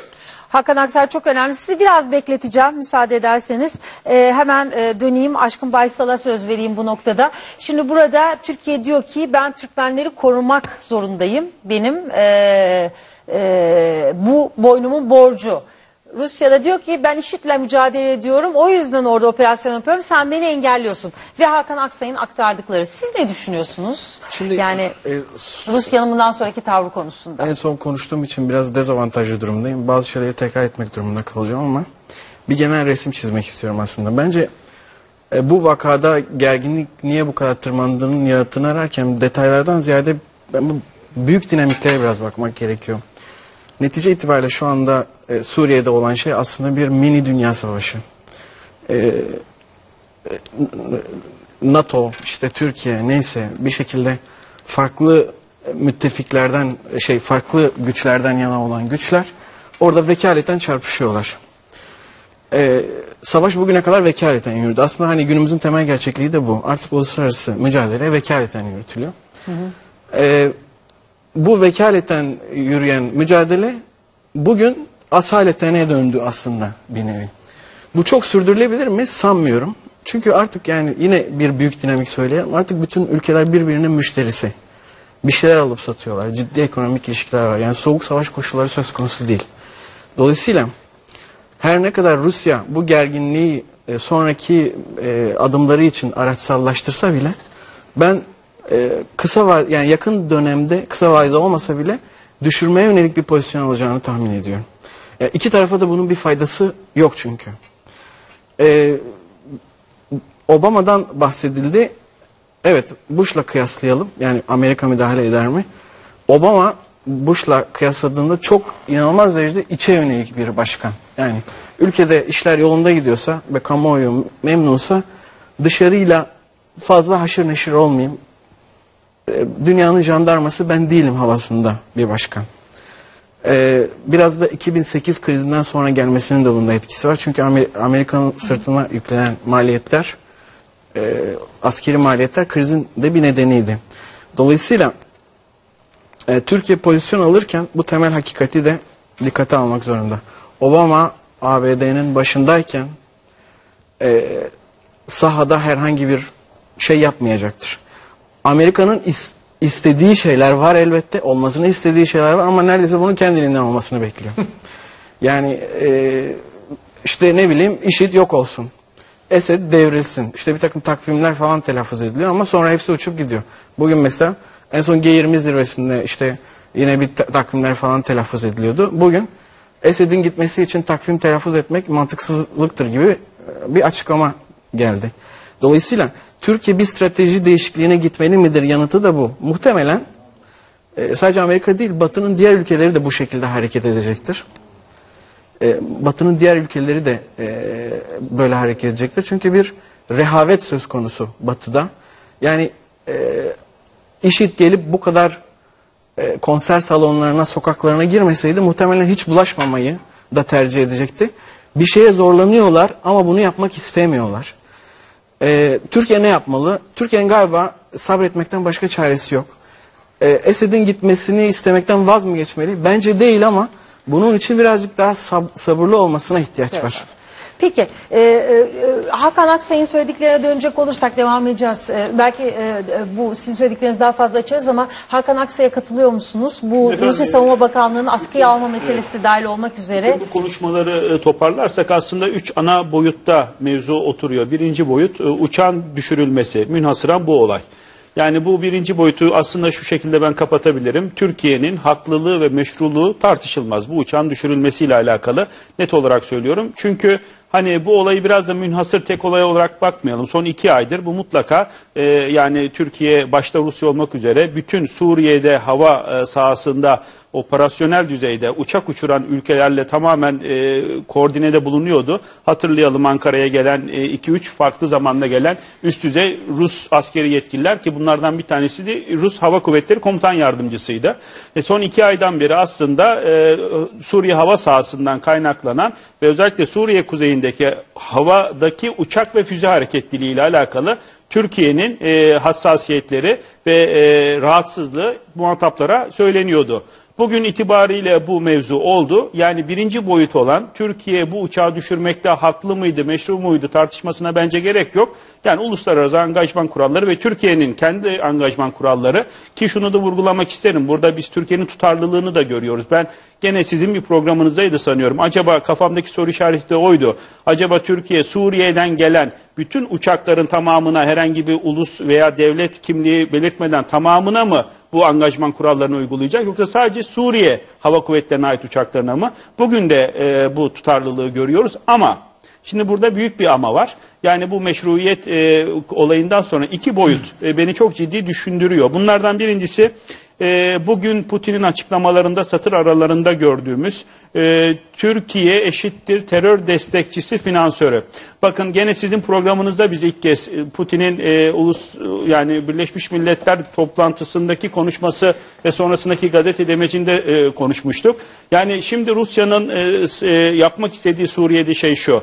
Yani gri bölgeler demiştik biz birinci bölümde onu dikkatinizi çekmiştim. Yani bizim beyaz dediğimiz bazı yerleri Rusya diyor ki siyah bunlar terörist.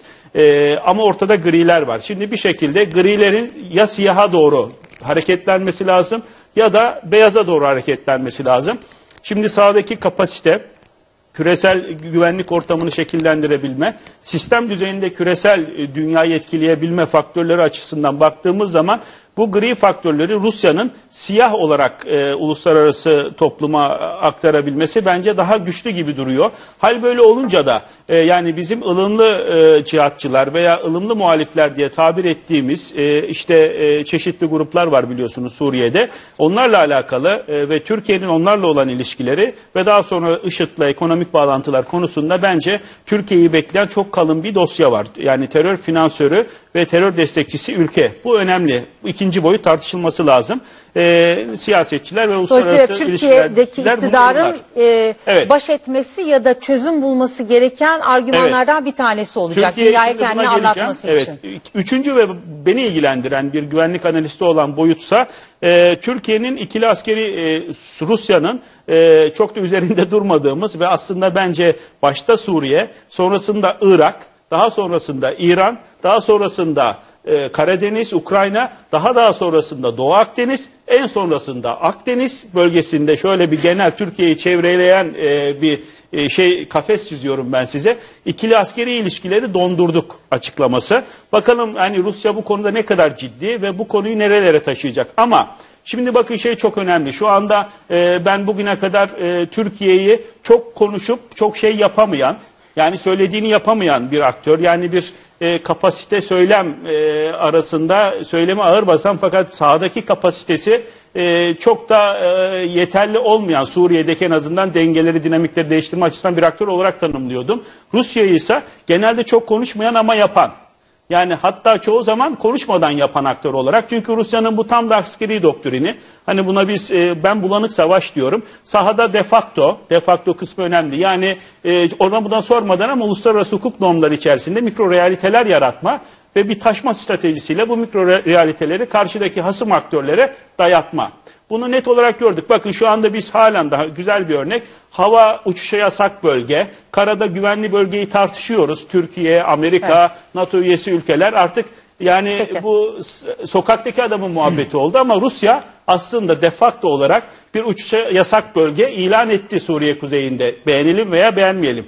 Tam da aslında bu Bayır Bıçak operasyonuyla da bence biraz Cerablus'a doğru taşacak olan bu operasyonla de facto bir kara güvenlik bölgesi de e, Rusya işgal edecekken Türkiye ilk kez bugün paradigma kırılmasıdır burada. Genelde söyleyen, konuşan ama yapamayan aktör olarak birden e, çok enteresan bir şekilde bakın Kuzey Avrupa ülkelerinin. Norveç'in, Finlandiya, İsveç'in yapamadığı, Doğu Avrupa'nın yapamadığı, Ukrayna'nın yapamadığı, Çin'in dahi yapamadığı ki Sibirya konusundaki çok ciddi stresleşmeleri var ve yaptı. Buradan da şuna gelmek istiyorum. Son De olarak oraya bir şey- gelmeyin o zaman. Çok fazla şey söyledik karışıyor ondan sonra. İsterseniz oraya gelmeyin. Son kez e, şu nokta dikkatinizi çekerim, e, de- çekmek isterim. Yani bu işte sahada de facto mikrorealiteler yaratmak ve e, askeri ilişkilerin askıya alınması. Şayet Suriye'de Rusya bize arkasını dönerse, koordineden, işbirliğinden kaçınırsa, hem Suriye'deki hava harekatının koordinasyonu hem de karadaki güçlerin koordinasyonu ve Türkiye'nin Tam da IŞİD'le mücadelede işte buyurun kara gücü dediği e, unsurları terörist olarak nitelerse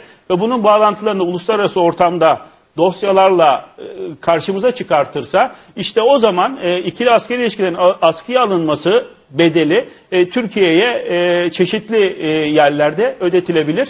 Bu da e, vekalet savaşları üzerinden ikinci bölümde açalım. Ee, e, Cenk e, Hakan'ın hem Hakan'ın söylediklerine hem de bu yeni e, yeni gruplaşmalar oluşabilir meselesine de değinmenizi rica e, ediyorum. Bıraktığı yerden devam Tabii. etmek iste- istiyorum. Hakan Aksay biraz önce Türk-Rus ilişkilerini yakından izleyenlerin çok iyi bildiği ama onun dışında kamuoyunun çok fazla ilgilenmediği hatta işte e, Moskova'dan kalkan bir Suriye uçağının Ankara'ya inişe zorlanması gibi çoğumuzun hatırlamadığı bir takım köşe başları niteliği taşıyan çok önemli örnekler verdi ki e, Ruslar unutmaz. Hani hiçbir ülke unutmaz belki ama Ruslar hayatta Moskova'dan kalkan bir uçağın buraya inişe zorlanmasını hayatta unutmaz. Ben başından beri Türkiye'nin Suriye konusundaki en büyük yanlışlarından birinin Rusya'yı kale almamak, Rusya'yı önemsememek, Rusya ile danışmamak olduğunu e, düşünüyorum. E, sizin biraz önce söylediğiniz bu kompartmanlar e, meselesi Türk-Rus ilişkilerinin patlama yapması 2004 yılında Putin'in Ankara'ya gelmesidir. 2004 yılından 2011 yılına kadar yani iç savaş başlayana kadar gerçekten bu ilişkiler iyi gitti. Şöyle bir anlaşma var. Evet biz turizm ayıralım, şunu ayıralım, bunu ayıralım. Görüş ayrılıkları çıkarsa onu başka tarafa. Ama Suriye'deki bu e, iç savaşın başlaması yavaş yavaş yavaş yavaş yavaş bir e, gölge olarak düşmeye başladı. E, Türkiye ziyaretini erteleyen Lavrov'un bir sözünü hatırlatmak isterim. E, iki yıl önce Çehov'a ait galiba işte e, piyeste, tiyatroda e, duvarda bir silah varsa ikinci perdede, üçüncü perde o silah mutlaka patlar dedi. Şimdi bu da e, olanlardan biri. Ahmet Bey'in e, Rusya benzer bir karşılık vermeyecek e, görüşüne katılıyorum. Ama bir e, böyle bir görüş de var.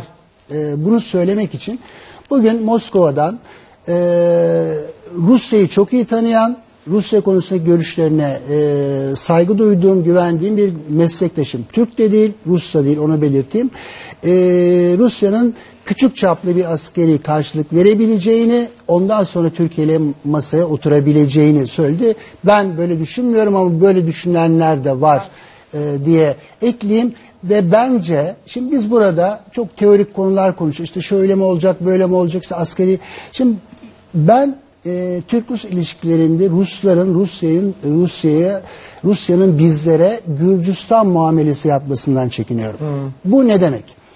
2008 ya da 2009 Rus-Gürcü Savaşı e, başladığı zaman e, Rusya kendi topraklarında yaşayan Gürcülere dünyayı dar etti. Bana sabahtan beri Moskova'daki arkadaşlarım, tanıdıklarım sürekli olarak mesajlar gönderiyorlar. Reklam arasında bile bu mesajlar gelmeye devam ediyor. Korkuyorlar. Neden korkuyorlar? Oradaki hayatlarının zorlaşmasından, Rusya'ya girememekten, e, işte oradaki yatırımlarının zarar görmesinden korkuyorlar. Ne yapmıştı Rusya Gürcülere ya da Gürcistan'a? Gürcistan şarabını bile yasaklayacak ya da Moskova'daki Gürcü lokantalarını kapatacak kadar ileri e, gitmişti. Şimdi Türkiye ile Gürcistan'ı karşılaştırmayalım. Minicik bir Gürcistan'dan bahsediyoruz. Türkiye'nin orada milyar dolarlık yatırımları, çok büyük yatırımları var. Ve hani Ruslar e, gerçekten e, kızmış vaziyette. Bugün bir arkadaşım yine Moskova'dan e, şakayla karışık Ruslar önce yumruk atar sonra düşünür e, dedi. Ben olayların bu boyuta e, varmasına endişe ederim. Şimdi e, e, e, Hakan Aksay'a teşekkür edeceğiz Skype bağlantısıyla bizimle birlikte. Ona teşekkür etmeden son bir sözü vereyim. Sonra biz stüdyoda e, tartışmamıza devam edeceğiz. E, Hakan Aksay dinlediniz Cenk başlamışı bir Gürcistan e, e, sendromu olabilir mi sorusunu soruyor ki gerçekten e, müteahhitlerimiz var, yatırımcılarımız var. Bugün mesela Çeçenistan e, devlet başkanı çıktı dedi ki e, bu Türkiye'nin yaptığı dostluğa sığmaz, sığmaz dedi. Yani e, Türkiye'deki yaşayan Çeçenlere de gidebilecek bir mesaj olarak dört bir koldan mesajlar yağdırttırıyor Mos- Moskova kendi etkisi altında olan e, cumhuriyetlerine e, ya da işte e, kendisine bağlı olan e, çeşitli e, merkezlere. Ne söyleyeceksiniz? Bir buna lütfen cevap. Bir de oradan bakıldığında Washington'un durumu ne olacak gibi. Yani Moskova'dan baktığınızda Washington'u nasıl görüyorsunuz? Ee, şimdi e, bu denilenler doğru gerçekten e, Türk iş adamlarının e, burada Moskova'da Rusya'da yaşayanların Rusya ile şu ya da bu şekilde ilişkisi olanların ben buna önemli bir ek yapacağım. Türkiye'de yaşayan Rusyalıların Rusların ve Rusyalıların e, epeyce kaygılandığını görüyoruz. Ne olacak acaba? Her şey değişiyor mu? İnsanlar aile kurmuş, insanlar iş kurmuş. Her şey değişecek mi? Hiç bugüne kadar böyle bir ortam oluşmamıştı. Bu kadar büyük bir gerginlik böyle şey. Acaba ne olacak sorusu bugünden e, pek çok insanı sarmış durumda. Gerçekten çok e, kaygı verici bir şey. Burada bana da yöneltilen sorular arasında çok ilk başta akla gelen basit takım şeyler var. O onlardan en azından bir tanesine değineyim kişisel kanımı anlatmak için. Rusya gazımızı keser mi? Şimdi ben Rusya'nın e, anlaşmaları dahilindeki yükümlülüklerine uyacağını düşünüyorum. Ya bu yükümlülüklerden çıkmak, bu tür e, farklı bir adım atmak vesaire bu Rusya'nın üslubu değil. E, daha önce de oldu. Biliyorsunuz anlaşmazlık Rusya e, e, gaz kesme yoluna gitmedi. Türkiye'nin ek ilave talebini karşılamadı. Şu ya da bu nedenden karşılamadı. Siyasi altyapısı var mıydı yok muydu bu tartışılır ama böyle bir anlaşma zaten yoktu ek gaza ilişkin. Bu anlamda Rusya'nın var olan mevcut anlaşmaları e, uyacağına böyle bir şey gaz kesme vesaire türünden şeylere gitmeyeceğini düşünüyorum ama e, deminden beri sıraladığımız diğer konular kaygı e, alanlarımız zaten oldukça geniş. E, Bilmiyorum daha önce konuştunuz mu ama ben buna önemli bir e, şeyi daha en azından iki, iki cümleyle eklemek istiyorum. O da Kürt konusu. Ee, Son zamanlarda biliyorsunuz e, Rusya e, Amerika ile iyi ilişkileri olan Suriye Kürtleriyle, Irak Kürtleriyle ilişkilerini daha fazla geliştirmek, pekiştirmek için adımlar atıyor. Hatta e, nispeten kısa bir süre önce PYD'nin temsilcileri, e, Türkiye'den temsilciler de vardı. Aralarında e, Moskova'da bir konferansa katıldılar. Dışişleri, Rusya Dışişlerinden yetkililerle konuştular. PYD'nin bir ofis açması ihtimalinden bahsedildi son derece ciddi olarak. Daha sonra pek çok nedenden dolayı belki ama bu nedenler arasında Türkiye'nin gösterdiği çok şiddetli tepki de vardı. Rusya'ya bir şekilde ilettiği, belli ettiği. Bu işi biraz daha ileriye atmış gibi görünüyorlardı. Şimdi ofis açma değil sadece ama genel olarak Rusların Kürtlerle ilişkileri ve e, Suriye'deki Kürtlerle ilişkileri, askeri ilişkiler de dahil olmak üzere bütün bunlarda acaba e, farklı bir sayfa mı açılacak? E, daha önce yaşamadığımız bir takım e, adımlar mı göreceğiz? En azından ben bir soru işareti olarak da olsa bunu e, gündeme getirmek istiyorum. Sonuçta e, yani Türkiye-Rusya ilişkileri e, evet yani bir takım askeri kur- kurallardan, angajmanlardan bahsediyoruz da şu şöyle olursa böyle yapılır, şu noktada düğmeye basılır.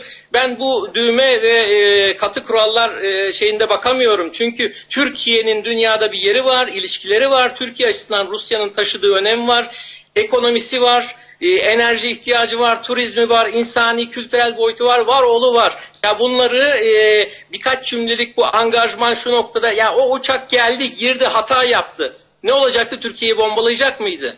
Yani bu bu bu şeylerin kar zarar hesaplarının çok net olarak görülebilmesi ve e, bazı konularda karşı taraf hata yapsa bile bazı noktanın kalınabilmesi sanatıdır diplomasi. Bu inceliktir, bazı şeyleri içe atmaktır. Eleştiri ya da sert eleştiri olarak e, ortaya koymaktır. Bunun pek çok yöntemi vardır. Uçak düşürmek, hele Rusya'nın uçağı düşür, düşürmek herhalde bunu daha ileride e, daha iyi anlayacağız. Bu bunun bu türden e, şeylerin, hataların bize neye mal olacağını tek cümlede de olsa hatırlatayım. En azından ticari ilişkiler olarak hatırlatayım. Evet Türkiye Rusya için önemlidir.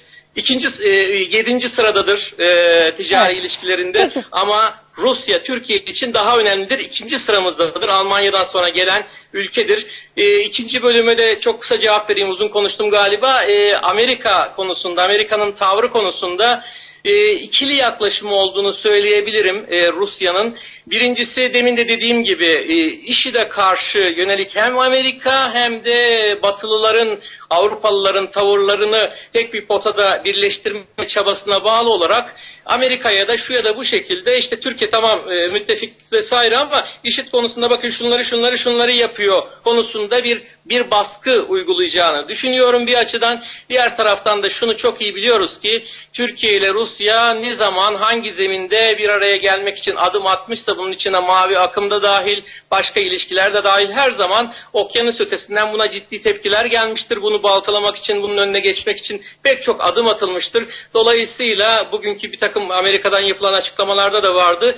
Türk-Rus ilişkilerinin bozulması yönünde e, özellikle Washington'dan e, bir takım atımla, adımlar da olabilir, açıklamalar da olabilir. Dozu ne şekilde ayarlanır göreceğiz ama bu ilişkilerin bozulması Türkiye ile Rusya arasındaki ekonominin, e, ekonomik ilişkilerin, ticaretin, enerji ilişkilerinin vesaire berhava olması bu Amerika'nın umurunda değildir ya da tam tersine umurundadır ve onu memnun eder. E, böyle bir ikinci bir yönü de var diye düşünüyorum konunun. Şirin Payzın.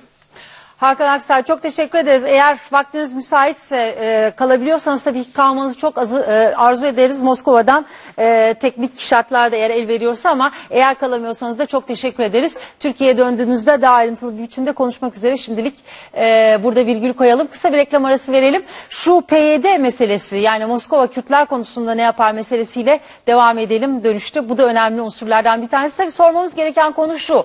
Madem ilişkiler iki taraf açısından da e, bozulması yönünde dezavantajlıysa yani iki tarafında işine yaramıyorsa eh buradan nasıl manevra yapılacak?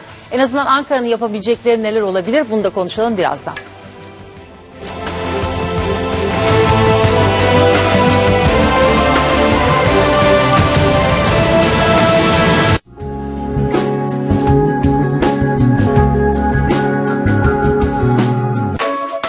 Hayata 1 artı 0 başlıyoruz. Sonra 1 artı 1 oluyoruz. Ama en güzel yıllarımız 2 artı 1, 3 artı 1, hatta 4 artı 1 olduğumuz yıllar.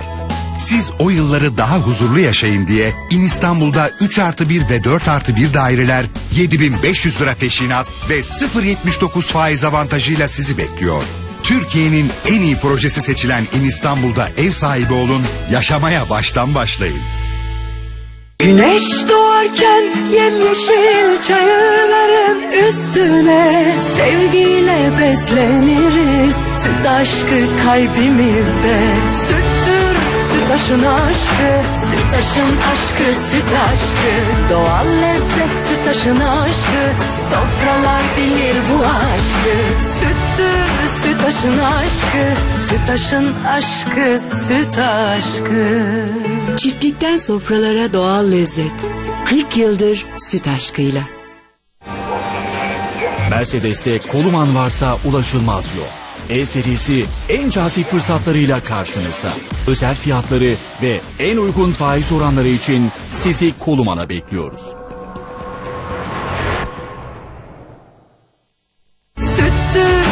Sütaşın aşkı Sütaşın aşkı süt aşkı Her anınız kıymetli. Biliyoruz. Ve İstanbul'un en güzel yerini sizin için ayırıyoruz. Çünkü biz hayallerinize değer katmak istiyoruz. Propa Residence, yaşamın tam merkezi Zincirlikuyu'da sadece 38 özel rezidansıyla benzersiz artılar sunan bir dünya. Lansmana özel 36 ay sıfır faiz ve size özel ödeme kolaylıklarıyla. Mükemmel bir fırın, davlumbaz ve ocaktan oluşan Siemens Ankastre Plus Set şimdi yeni yıl özel indirimle sadece 1287 lira. Üstelik bonus özel peşin fiyatına 9 taksit fırsatıyla. Siemens, gelecek evinizde. Yeni bir ev, yeni bir yaşam. 75 bin metrekare peyzaj alanından yürüyüş ve bisiklet yoluna, fitness ve spa merkezinden tenis kortuna, açık hava sinemasından alışveriş merkezine, spor sahalarından 4 mevsimlik havuzlara ve sadece size özel bir proje.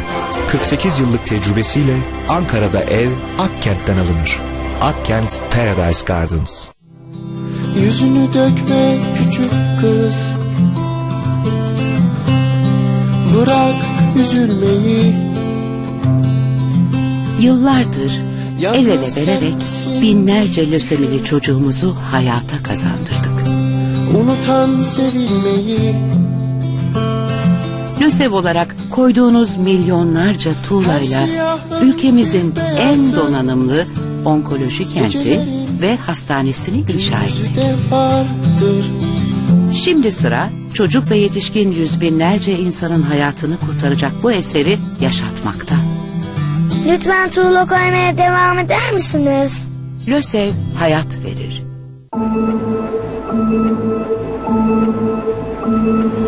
Sihir yok. Göz yanılsaması yok. Görsel bir oyun yok. Çünkü yaptığımız her şeyde özen, disiplin ve her zaman daha iyisi için büyük bir azim var. Bunun dünya için ne anlam ifade ettiğine gelince belki de sihir en doğru kelimedir. Baba artık gitmemiz gerekiyor. Aa, bakın ne diyeceğim. Neden benim arabamla gitmiyorsunuz? Masaj yapan koltukları da var. Onunkinde de var. Ya. Hatta led matrix farları da var. Hoşçakalın. Bay bay şımarık velet. Lüks sınıfı üzecek. Yeni Astra. Masaj yapan koltuk özelliği ve LED Matrix farlarıyla. Yeni Astra. Kompakt sınıfta 2015 Altın Direksiyon Ödülü'nün sahibi. İnşaat baretsiz, büyümek isteyen şirketler mikro yazılımsız olmaz. Büyümek için Mikro.com.tr'ye girin, görün. Büyümek isteyen her şirkete lazım. Mikro yazılım. Mikro yazılım. Jeneratör bir kere alınır, Aksa'dan alınır. Hayata kaldığım yerden devam. Bir fikrin en etkileyici yanı nasıl çizildiğinden çok kimin için çizildiğidir. Hazır mısın onun ışığıyla buluşmaya?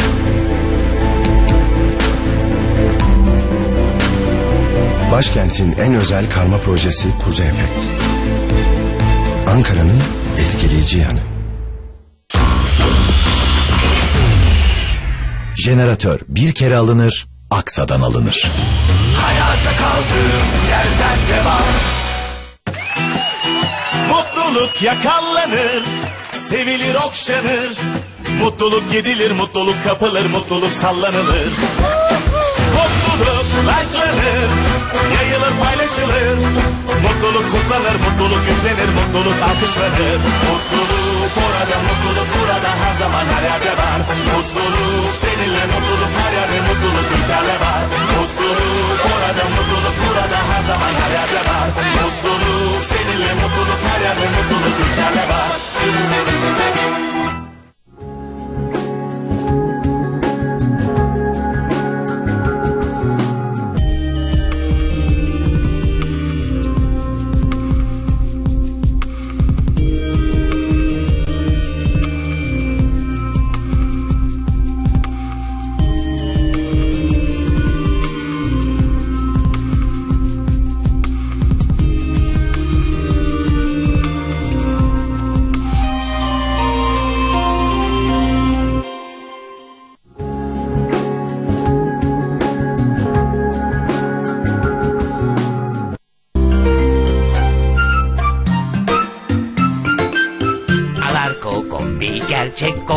Gerçek konfor. Alarko kombi, gerçek kombi, gerçek konfor.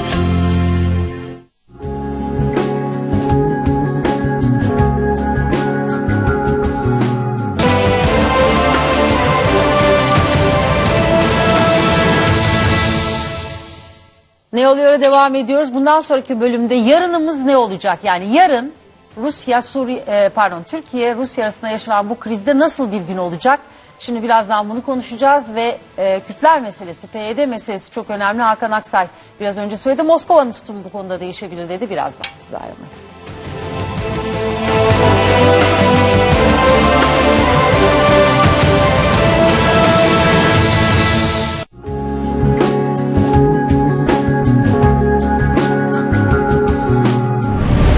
Kış yola geldi.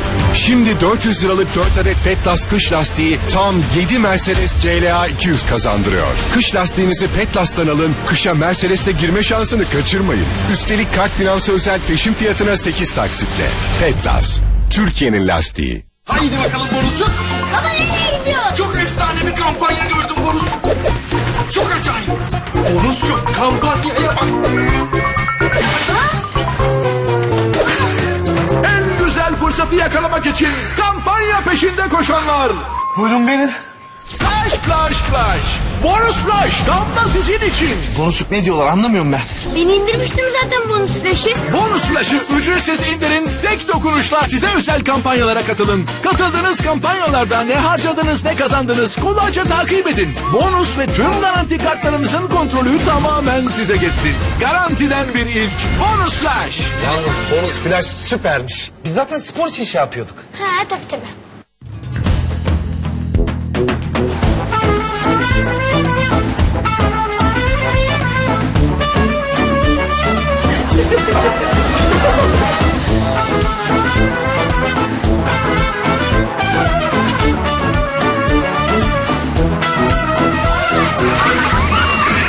O hepimizin özlemini duyduğu sıcacık semt hayatı burada.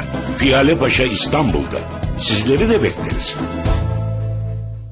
Bestellendiren günlerde kaçırılmayacak fırsat. 4K yayını izleyebileceğiniz ilk yerli üretim 3D Smart 122 ekran 4K Ultra HD TV'ler 2399 lira. Üstelik kart finansı özel 9 taksitle.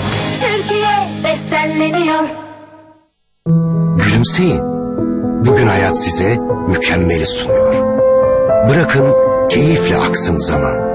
İstanbul'u yeniden tanımlayan Orya Park'ta her yer yakın, her şey elinizin altında.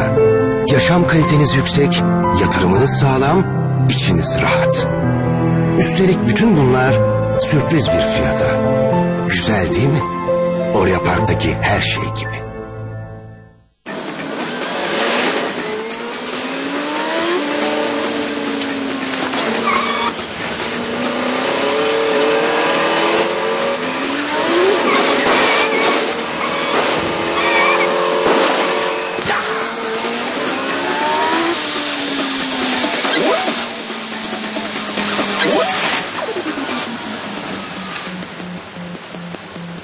Ve kazanan iyi sürücü. Siz de iyi bir sürücüyseniz gelin Aksa Sigorta'nın mükemmel fiyat performans oranı ödülünü alan kaskosuyla tanışın. Üstelik diğer sürücülerden farklı olarak iyi sürücüye iyi fiyat avantajından faydalanın. İyi sürücüye iyi fiyat Aksa Sigorta'da.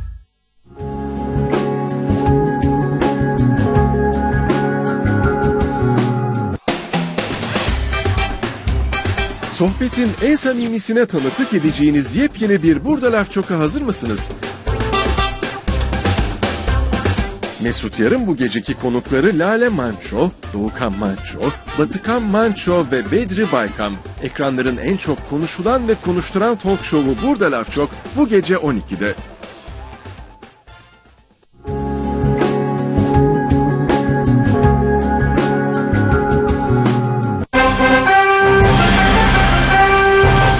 Üç kıtada 18 ülkede Forex denince herkesin aklına aynı X gelir. XTB.com.tr Hey güzel dünya döndür etrafımızda Hayatın açık kapısı hepimizin ortak noktası Kahve dünyası. Hepimizin ortak noktası. Mercedes'te Koluman varsa ulaşılmaz yol. E serisi en cazip fırsatlarıyla karşınızda. Özel fiyatları ve en uygun faiz oranları için sizi Koluman'a bekliyoruz.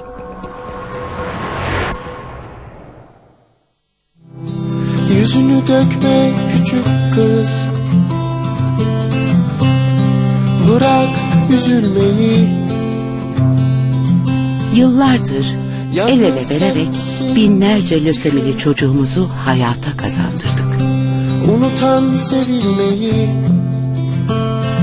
LÖSEV olarak koyduğunuz milyonlarca tuğlayla ülkemizin en donanımlı onkoloji kenti ve hastanesini inşa ettik.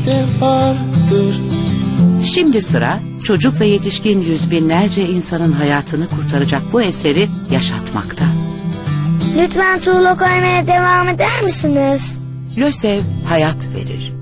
Gömleklerinizin lekelerini bir türlü tam çıkaramayan, kekleri asla istediğiniz kıvamda pişiremeyen, bardaklarınızda leke bırakan tüm eski ürünlerinizi alıyoruz, yerine mükemmel temizleyen, kusursuz pişiren, pırıl pırıl yıkayanları veriyoruz. Siemens değişim kampanyasıyla markası ne olursa olsun eski ürününüzü evinizden alıyor, sizi son teknoloji yeni IQ serisi Siemens beyaz eşyalarıyla tanıştırıyoruz. Değişim avantajlarını öğrenmek için sizi Siemens yetkili satıcılarımıza bekliyoruz. Siemens, gelecek evinizde. Fabrika üretimsiz, büyümek isteyen şirketler mikro yazılımsız olmaz. Büyümek için Mikro.com.tr'ye girin, görün. Büyümek isteyen her şirkete lazım. Mikro yazılım. Sıra dışı hedeflere, sıra dışı yollardan geçerek, benzersiz bir keyif ve heyecanla, huzurla varmak ve maceracı ruhunuzu doyurmak için gün bugündür. Subaru. Yumurtalar kümesten, sucuklar torkudan. Fasulyeler tarladan, sucuklar torkudan. Domatesler bahçeden, sucuklar torkudan. Güvenle ikram edebilmeniz için bundan sonra sucuklar Torku'dan. Afiyet olsun. Gururumuz Kenan Sofuoğlu. Dördüncü kez dünya şampiyonu. Bir dakika pite girmedi. Niye geldi buraya? Kenan köprüyü geçiyor sayın seyirciler. Maslak'ta şu anda. Rakiplerini geride bırakmak için çok çalışıp hızlı olman gerekir. Ne kadar çalışırsan çalış. Arkanda güvenebileceğin bir teknoloji ve uzman bir ekip yoksa başarılı olamazsın. Benden daha hızlı oldunuz doğru mu? Sizden daha hızlıyız. Biz de üstün teknolojik altyapımızla saliselerle yarışıyoruz. Ama siz bizim gururumuzsunuz. Kenan Sofuoğlu resmi sponsoru. İntegral Forex.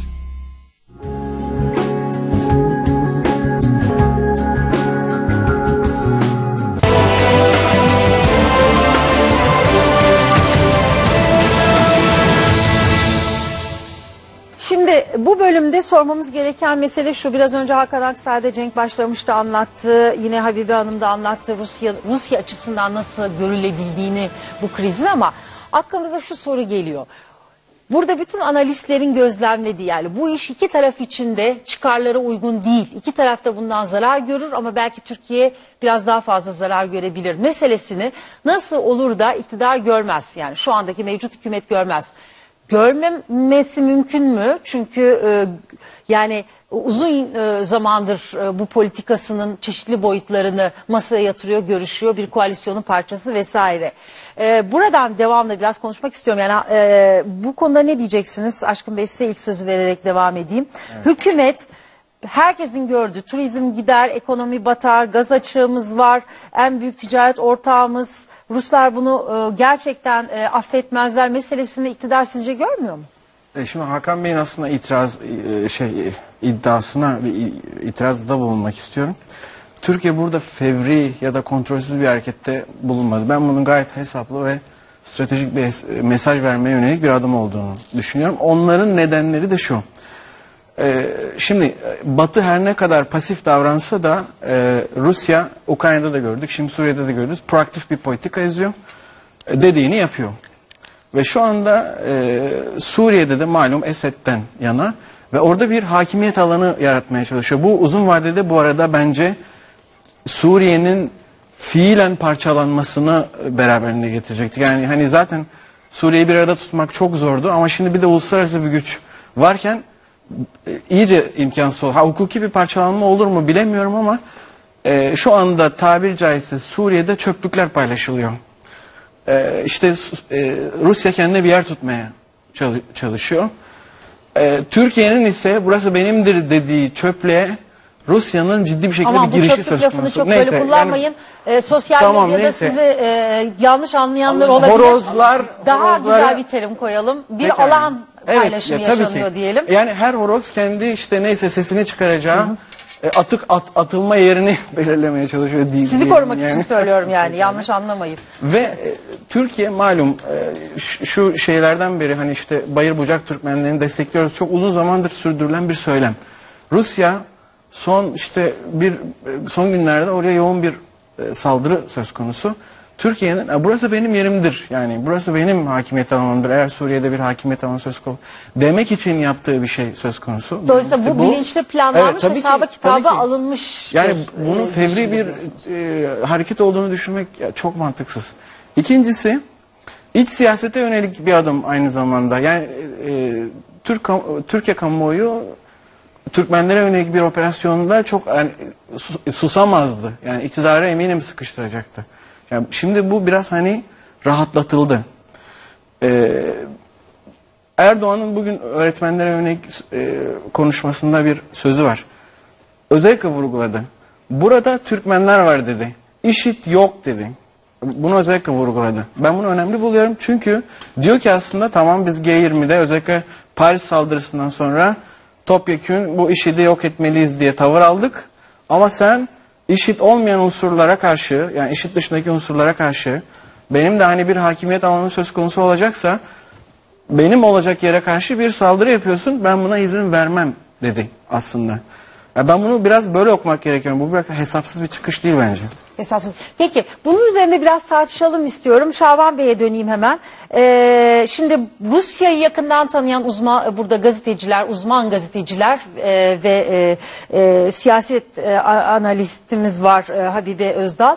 O, onlar Moskova'nın ruh halini bize anlattılar. Aynı soruyu size sorayım Şaban Bey. Yani e, peki bunun hesabı kitabı nasıl yapıldı?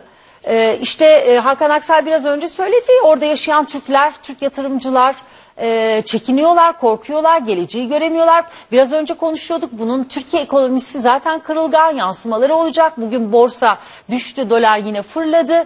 Ee, enerji e, konusunda e, evet belki doğalgaz ki bunu Rusya'da açıkladı. Doğalgaz anlaşmaları iptal edilmeyecek ama yeni projeler var. E, fiyatlandırma meselesi var enerjide. E, dolayısıyla siz e, katılıyor musunuz Aşkın Bey'e? Bu aslında Ankara'da bütün boyutlarıyla hesabı kitabı yapılmış e, ve belki öbür tarafı daha ağır basmış bir e, tepki miydi, hareket miydi?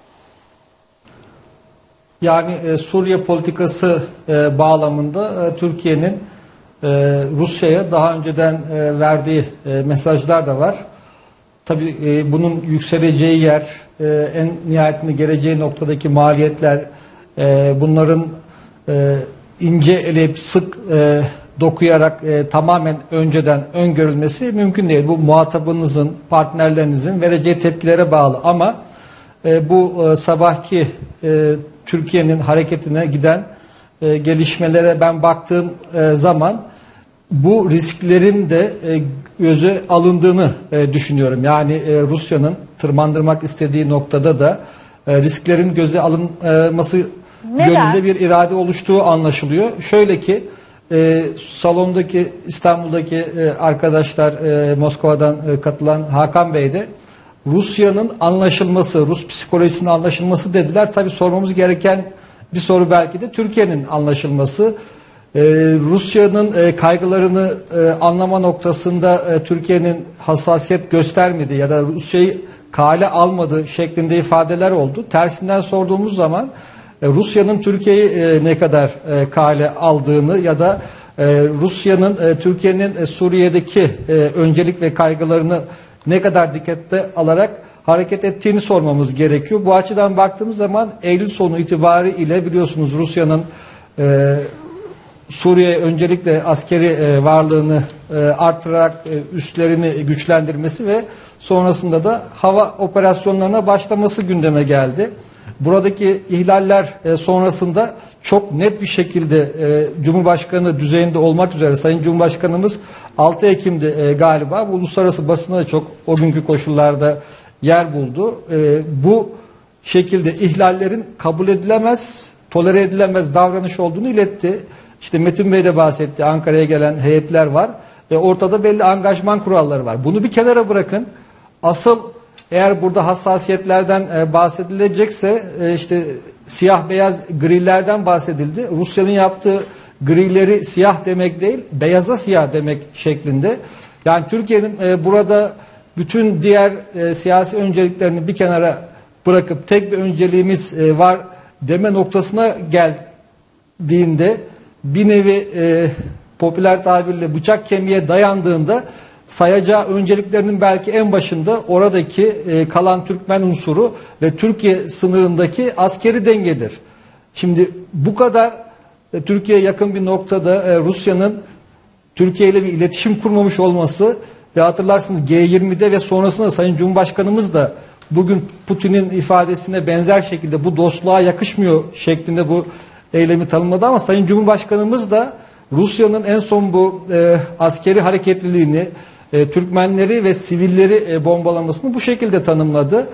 Karşılıklı olarak e, dengeli bir şekilde analizde bunu dikkate almak gerekiyor. Herhalde Türkiye'deki okuma Rusya bizim buradaki sahadaki önceliklerimizi bu kadar kale almadan hareket ediyorsa e, burada artık yapılacak bir şey kalmamıştır ve Rus uçaklarının hava sahasını ihlalde dahil olmak üzere angajman e, kuralları katıksız şekilde uygulanacaktır diye Peki, düşünüldü. size bir sorum var. Buradaki Size bir sorum Evet. var. Şu e, seyircilerimizden biri de sormuş ama akıllara takılabilecek bir soru. E, Türkmenler meselesi tabii ki Türkiye için çok çok önemli. Bunun e, geçmişte Irak'taki e, Türkmenler üzerinden de gördük. Yani o or- orada da e, kamuoyu hassasiyetini de aynı zamanda Türkmenlerin durumunu da göz ardı etmesine imkan yok. Hiçbir iktidarın etmesine imkan yok. Ancak Türkiye'nin burada e, Türkmenlerin içine e, katılabilecek ya da durumu suistimal edebilecek ve IŞİD'le mücadeleyi zaafa uğratabilecek unsurlar konusunda daha net işbirlikçi ya da bu konuda en azından Türkmenleri koruyucu ve uluslararası camiaya da ne yapıldığını daha rahat anlatabilecek pozisyona gelebilmesi gerekir mi? Gelmesi gerekir mi? Siz bu konuda ne düşünüyorsunuz? En azından bu eleştiriler konusunda hükümetin e, belki daha mı e, farklı bir adım atması gerekir yoksa yeterli olduğunu düşünüyor musunuz tavrın? Yani bunu anlatma noktasında e, farklı adımlar atılabilir. Kamu diplomasisi açısından değişik inisiyatifler e, geliştirilebilir. Bu ayrı bir konu ama sahadaki durumla ilgili olarak e, Rusya'nın e, kendi oradaki müdahalesini meşrulaştırırken IŞİD'le mücadele argümanını e, kullandığını biliyoruz. Ama Rusya'nın sahaya indiğinden beri yaptığı hava saldırıları, istatistikleri e, çıkarıldığında vurulan hedefler e, ve sahada e, Suriye e, rejim kuvvetlerinin ve onu destekleyen diğer e, dış unsurların İran ve e, Irak'tan e, gelen e, farklı unsurların hareketine baktığımız zaman IŞİD'le mücadeleden daha ziyade sivil alanlarda ve diğer ılımlı e, muhalif oluşumların olduğu yerlerde bir hareketlilik olduğu görülüyor. Yani burada aslında e, Türkmenler üzerine bu yapılan hareket e, diğer cephelerde de karşımıza çıkabilecek, çıkan ve ileride güçlenecek bir dinamik, bir öncül e, işareti veriyor. Yani burada siz IŞİD'le mücadele ediyorum bahanesiyle ki e, diğer e, bazı e, radikal e, unsurların e, buralarda daha küçük oranlarda olduğu yönünde bilgiler var ama tek bir net bilgi varsa IŞİD'in burada olmadığı. Buna rağmen bu argümanı kullanıp e, Rusya'nın e, havadan çok yoğun bir bombardımanla burada sadece nokta atışı yapan e, füzelerle e, hedeflerin vurulduğu operasyonlardan bahsetmiyoruz. Çok yoğun böyle ülkeler arasındaki savaşlarda e, kullanılan e, bombardıman uçaklarının kullandığı bir e, askeri operasyonu Rusya IŞİD bahanesiyle bu şekilde sivil alanlarda yapıyorsa siz buna karşı durmadığınız takdirde e, bugün oradaki e, Türkmen Dağı'nın düşmesi demek yarın İdlib üzerine operasyonların başlaması demek. Yarın benzeri bir e, yapıyı e, modeli kullanarak Halep üzerine yürünmesi demek. O açıdan e, Türkiye'nin buradaki e, pozisyonu evet birincil olarak Türkmenler üzerinden bir hassasiyet ama genel anlamda da Rusya'nın sahada kendisinin yeni bir argüman üretmesine bir tepki. O yüzden bugün e, içerisinde NATO'dan ve Amerika'dan gelen galiba Obama'nın bu yönde ifadesi olduğu e, söyleniyor. Tam e, bakamadım. İfadeler de bu yönde.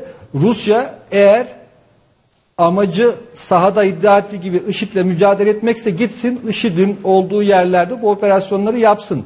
Ama IŞİD'in olmadığı yerlerde bu operasyonlara devam ettirdiği zaman bu şekilde komplikasyonlar çıkabiliyor. Buradan bundan sonrası için herkesin e, bir anlamda ders alması e, gerekiyor. Rusya'nın çıkaracağı bir ders varsa burada sağlıklı bir askeri iletişim e, kanalını Türkiye ile açması gerekiyor. Koalisyonla açması gerekiyor. Evet.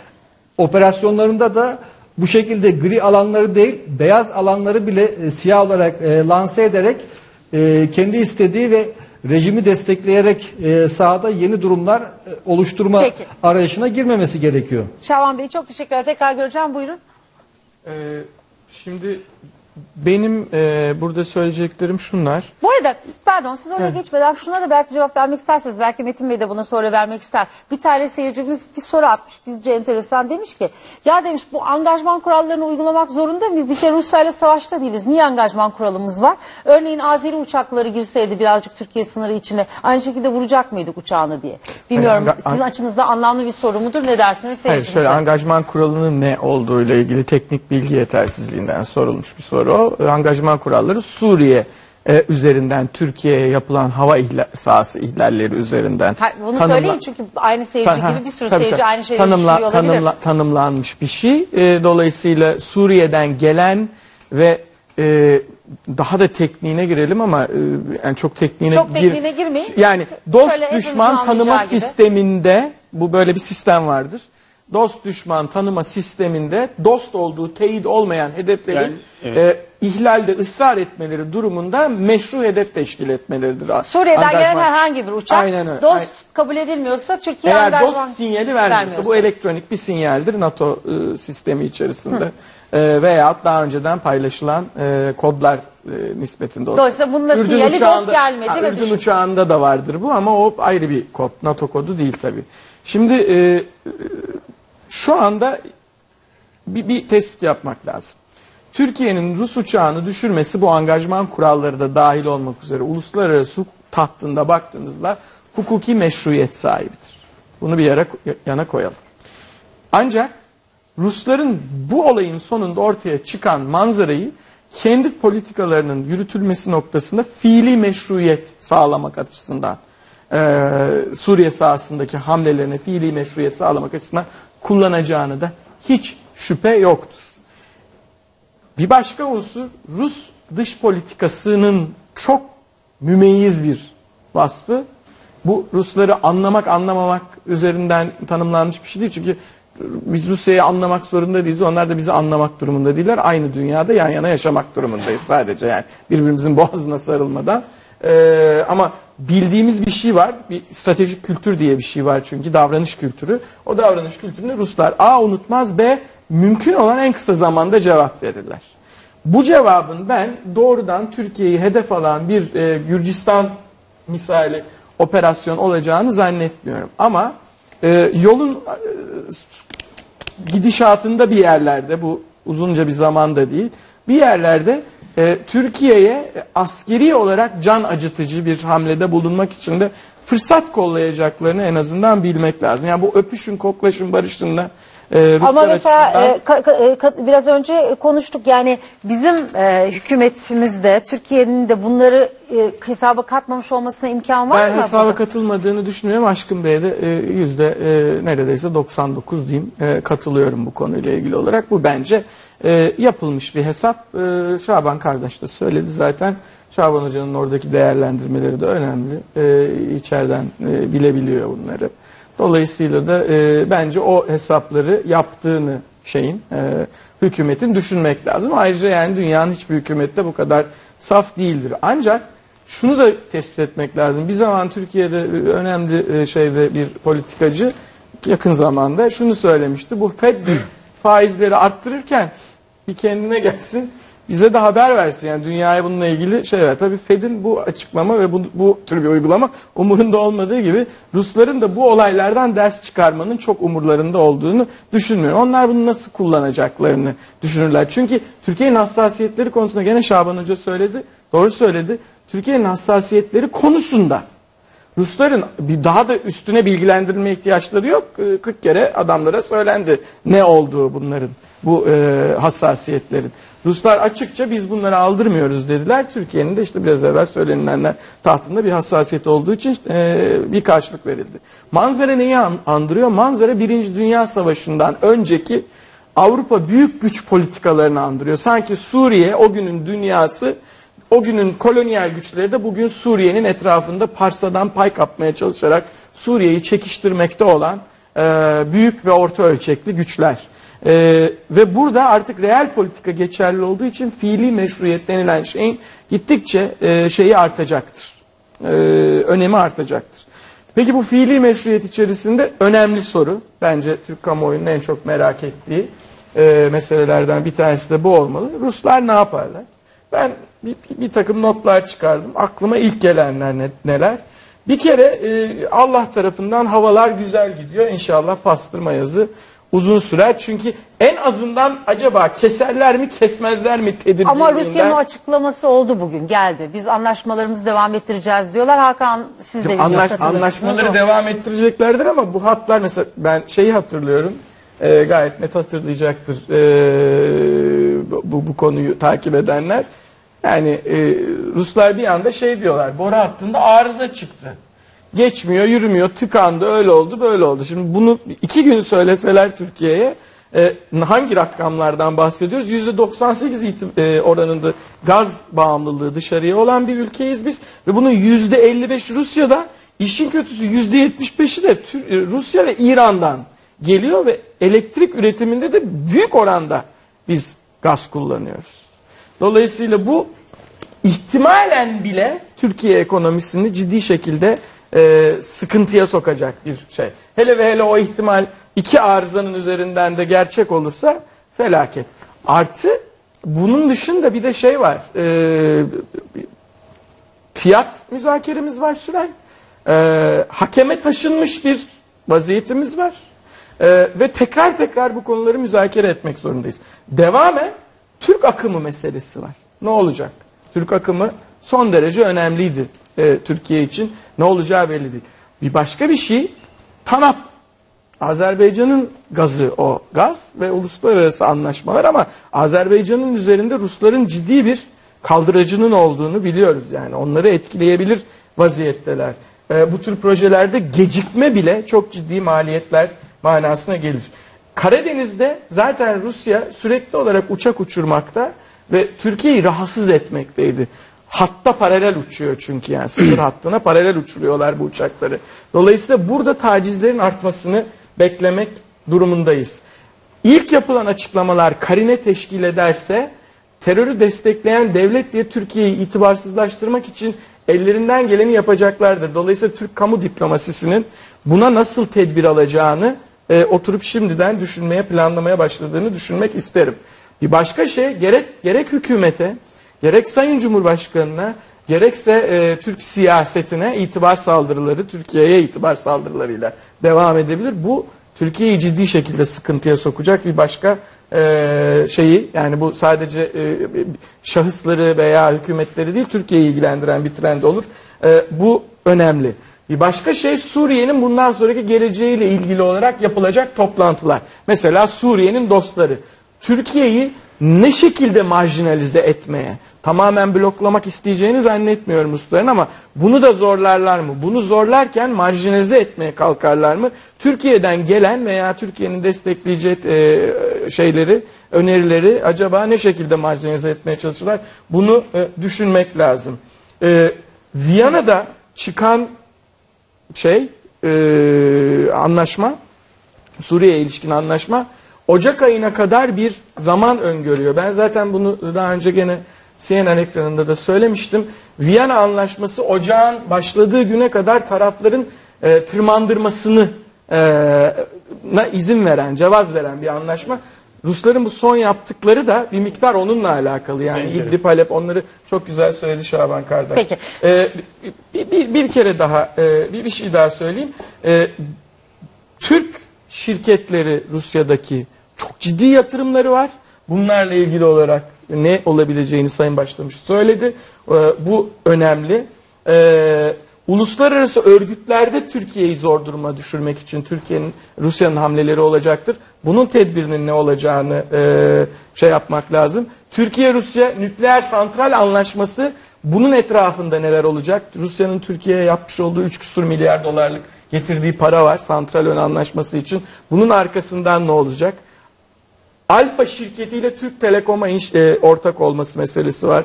Rusların bu e, pardon Türk Telekom dedim düzeltiyorum. Turkcell'e bunun ne olacağının ciddi şekilde düşünmesi lazım. Türkiye'nin en büyük mobil e, şeyi operatörü E, ve tabii bir de bütün bunların üstünden e, tanımlanması gereken siz de zannediyorum buraya geçmek isteyeceksiniz. E, PYD ve Kürtlerle ilgili olarak ne yapacak Ruslar? Bunu da düşünmek Diğer soruların cevabını bir tek cevap olarak herhalde şu an itibariyle veriyoruz. Bilmiyoruz. Bilmiyoruz. Bugün e, ekonomi, daha doğrusu enerji, enerji bakanı, yeni enerji bakanı e, bu konudaki soruları muhatap oldu ama e, henüz daha bir şey net değil e, şeklinde Berat Ama nereye Albayrak. doğru gittiğini aşağı yukarı Berat. Albayrak e, dolayısıyla bu önündeki biraz önce sizin alt alta sıraladığınız e, sıcak soruların cevaplarıyla e, herhalde kamuoyuna al- aydınlatacaktır ama hala şu sorunun cevabı yok. Ha, Bütün bunları alt alta koyduğumuzda ne hesaplandı? Ben bu sorunun cevabını da alabilmiştim. Tekrar oraya döneceğim ama sizinle devam edeyim Habi Hanım. Ee, e, bu PYD konusunda Hakan Aksay'ın dikkati çekmişti. Ee, bu konuda Rusya'nın, yani şimdi Rusya'nın neler yapabileceğini konuşuyoruz. Çünkü Ankara'nın ne yapacağını henüz bilmiyoruz. Bir açıklama yok. Ee, siz bu konudaki manevra alanını nasıl görüyorsunuz? Ve bu PYD siyaseti üzerinden Amerika'yı da yanına çekmeyi başarabilir mi Rusya sizce? Bugüne kadar izlenen politikaya baktığımızda bir ortak noktada buluştuklarını görüyoruz. Çünkü Ruslar e, şimdi burada daha önce ifade edildi çok ilginç bir strateji izlediler. IŞİD'e karşı operasyon diye başladılar e, Suriye'de. Şu anda IŞİD dışındaki bütün e, radikal gruplara karşı bir ağır hava operasyonu düzenleniyor. Ve burada e, meşru gördükleri kimi güçler var.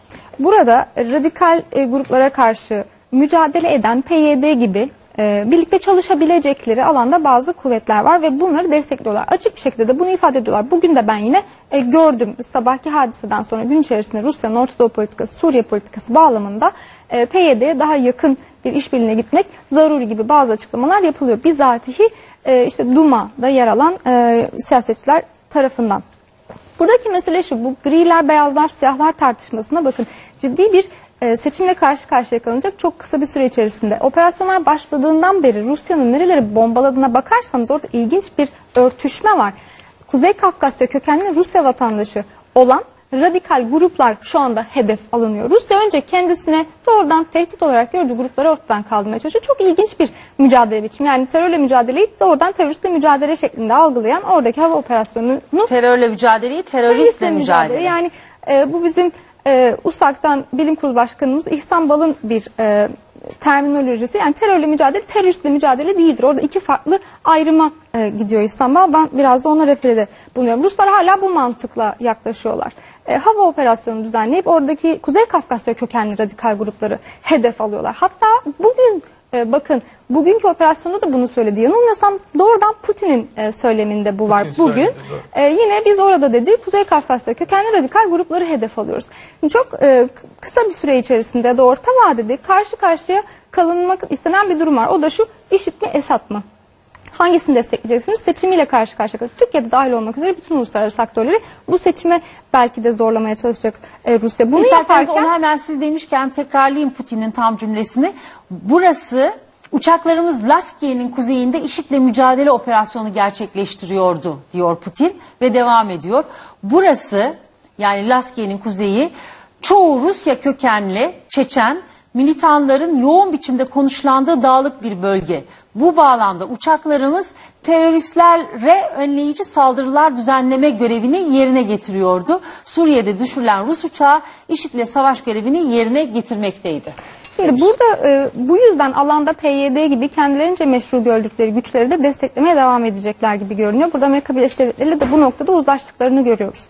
E, tabii bu durumda şöyle bir durumla karşı karşıyayız. Bakın bu son uçak düşürülme hadisesiyle beraber bugün itibariyle Türk-Rus ilişkilerinde belki 2004'ten bu yana devam eden bu güven inşası süreci sona erdi diyebiliriz. Bugün artık biz yeniden her iki tarafında Türkiye'nin Rusya'yı, Rusya'nın Türkiye'yi tehdit olarak gördüğü hem kamuoyunda hem basında tehdit algısının çok daha yükseldiği bir aşamaya e, geçtik. Bu bakımdan kazanımların da geri döndüğünü görüyoruz. Yani bu kompartmentalizasyon artık işlemeyecek gibi görünüyor. Şimdi bugün Lavrov, Dışişleri Bakanı Lavrov ben gitmiyorum siz de gitmeyin derken kamuoyuna e, işte bazı Rus acenteler Türkiye turları iptal ettiğini açıkladığında belli ki biz artık işte turizm ayrı bir yerde, enerji ayrı bir yerde, dış politika bir ayrı, ayrı bir yerde diye çok fazla konuşamayacağız. Bu birbirini fazlasıyla etkiler hale geldi. Diğer taraftan tehdit algısı karşılıklı tehdit algısının yükselmesiyle beraber bugün burada her, hemen hemen herkes senin fikir. Bugün artık doğrudan savaş görmüyoruz. Vekalet savaşları görüyoruz. Birbirini destekleyen e, farklı grupların, dış aktörlerin desteklediği grupların alandaki savaşını görüyoruz. Ben bu nedenle de artan tehdit algısı, artan güven bunalımıyla birlikte işte PYD gibi anlaşmazlık unsurları kiminin işte terör örgütü listesinde yer alan kiminin ise alanda çalışabilecek güvenilir aktör olarak gördüğü e, işte Rusya, Türkiye, Rusya, e, bu e, anlaşmazlığın alanda güçlenerek devam edeceğini görüyorum. Bu bizim açımızdan yani Türkiye açısından e, Suriye politikamızdaki e, önemli handikaplardan bir tanesi önümüzdeki dönemde. Yani biz Türk-Rus ilişkilerinde bir güven bunalımı göreceğiz. Ben son derece önemli noktaları değindi biraz önce Ahmet Hoca. Şöyle e, ki bir imaj e, bozulmasıyla karşı karşıya kalacağız uluslararası alanda. Bakın teröre destek veren ülke şeklinde Putin bugün bunu ifade etti. Birkaç yerde daha G20'de üstü kapalı söylemişti. Bugün daha açık bir şekilde bunu söyledi. Bunun maalesef karşımıza sürekli getirilmesi kaçınılmaz gibi görünüyor. Ama bunun dışında yani söylem dışında bir de alandaki faaliyetlerde PYD bizim karşımıza Şimdi çıkacak. burada başına... Ufacık bir şey söyleyeyim mi? Tabii. Ufacık bir şey. Ee, Habibe Hanım söylediklerinin şu yönüne de dikkat çekmek lazım. Bakın o dağda diyor adam çıkmış Rusya'nın devlet başkanı o dağda diyor Çeçenler var. Şimdi siz sahada Rusya'nın nasıl bir istihbarat kaynağı olduğunu düşünün. Metin Gürcanlı bunu çok e, net şey yapabilir, anlatabilir. Ve dolayısıyla Rusya'nın elinde dünden bugüne Suriye'de ne olup ne bitti, kime ne geldi, ne gitti, kim ne yaptığıyla ilgili biriktirmiş olduğu istihbaratı düşünün. Ve bunun parça parça can acıt, acıtacak şekilde sızdırıldığını düşünün. Bu yani buna tedbir almak zorunda. Bugün ben olsam sabaha kadar herhalde öyle yapacaklar. Uyumam bunu düşünür. Ee, buradan devamla sizinle devam edelim. Burada- ne diyeceksiniz? Şimdi, Şimdi- çok özür dilerim. Belki Cenk e, başlamış biz, biz beni e, teyit eder mi ya da düzeltir mi? En son daha geçen hafta G20'den hemen önce Rusya e, Dışişleri Bakanlığı Sözcü Yardımcısı ya da e, tam emin değilim Putin'in e, yardımcılarından bir tanesi rakam verdi. 80 bin IŞİD militanı var. Bunların içindeki radikal Çeçen e, savaşçı Kafkas dedi daha doğrusu Çeçen demedi ama yani. Kafkas kökenli bizim bizden gitme 8 bin militan var dedi. Doğrudur değil mi? Dolayısıyla buradan şimdi size döneceğim ama Şimdi Cenk ben e, e, siz buyurun. yani bu programın başlangıcındaki tekrar o e, güzel örneğe dönmek istiyorum. Yani şimdi siyahlar, beyazlar ve griler. Şimdi e, şuna gelmek istiyorum. O Çeçen olayına da bir açıklık e, getireyim. Ve PYD Görebildiğim önemlisi, kadarıyla PYD ona da geleceğim. Şimdi aslında bu Bayır Bucak bölgesinde e, Suriye'ye bir şekilde Kafkasya yani Rusya coğrafyasından girmiş biraz Orta Asyalılar da var. E, bir şekilde IŞİD ve El Nusra'ya bulaşmış. Fakat onunla yapamayacağını görüp e, geri de dönmek istemeyen e, yani Çeçen grupların e, başta olmak üzere pek çok Kafkasya ve Orta Asya kökenlinin bir havuzu gibi düşünün orası. Yani oraya e, geri dönmüşler. Şimdi ben e, az önce şu, şu tabirime dikkatinizi çekmek isterim. ılımlı cihatçı. E, yani bazı izleyicilerimiz belki bunu eleştiriyor olabilir ama ben sahadaki gerçeklik açısından söylüyorum. Bakın şimdi size net bir örnek vereyim. E, Bayır Bucak'ta e, yaşamaya çalışan bir Türkmensiniz. Bir şekilde elinizi silah aldınız. Şimdi bir şekilde size Türkiye üzerinden aylık 100 ila 150 dolar para geliyor. Ama bir şekilde kendinizi El Nusra gösterirseniz başka yerlerden ayda 400 dolar para kazanıyorsunuz. Şimdi oradaki insanlar cahil e, olabilirler ama salak değiller ve bu insanların hayat idamesi de şey yapmak istiyorlar. Yani e, hayatta kalmak istiyorlar. Şimdi e, demek istediğim şey şu. Siyahlar ve beyazlar. Şimdi e, görür, görünen o ki bugünkü bu e, uçak olayından sonra bizim Türkiye'nin veya Türkiye'deki siyasi karar alıcılarımızın uluslararası e, me- e, dünyaya, uluslararası kamuoyuna beyaz dediği şeylere e, Rusya siyah diyor. Ama aslında ne bizim dediğimiz kadar onlar beyaz ne de Rusya'nın dediği kadar siyah, gri. Gri'nin tonlarını tartışabiliriz burada. Şeye katılıyorum tüm bu tartışmalarda. E, bu grileri Rusya siyahlaştırmak istiyor E, Türkiye hayır orada yani mesela DAEŞ yok diyoruz biz IŞİD yok diyoruz şu anki harekat e, yapılan yerde bölgede. Şimdi burada aslında gerçek yok. Biz gerçeğin peşinde yani Türkiye veya Rusya destekler gerçek algısının peşinde koşmamamız lazım. Bence burada işte gerçeği bükebilme gücü. Gerçeği bükebilme gücü o grileri Rusya'nın paketlemeye çalıştığı gibi uluslararası e, kamuoyu siyah olarak mı satın alacak?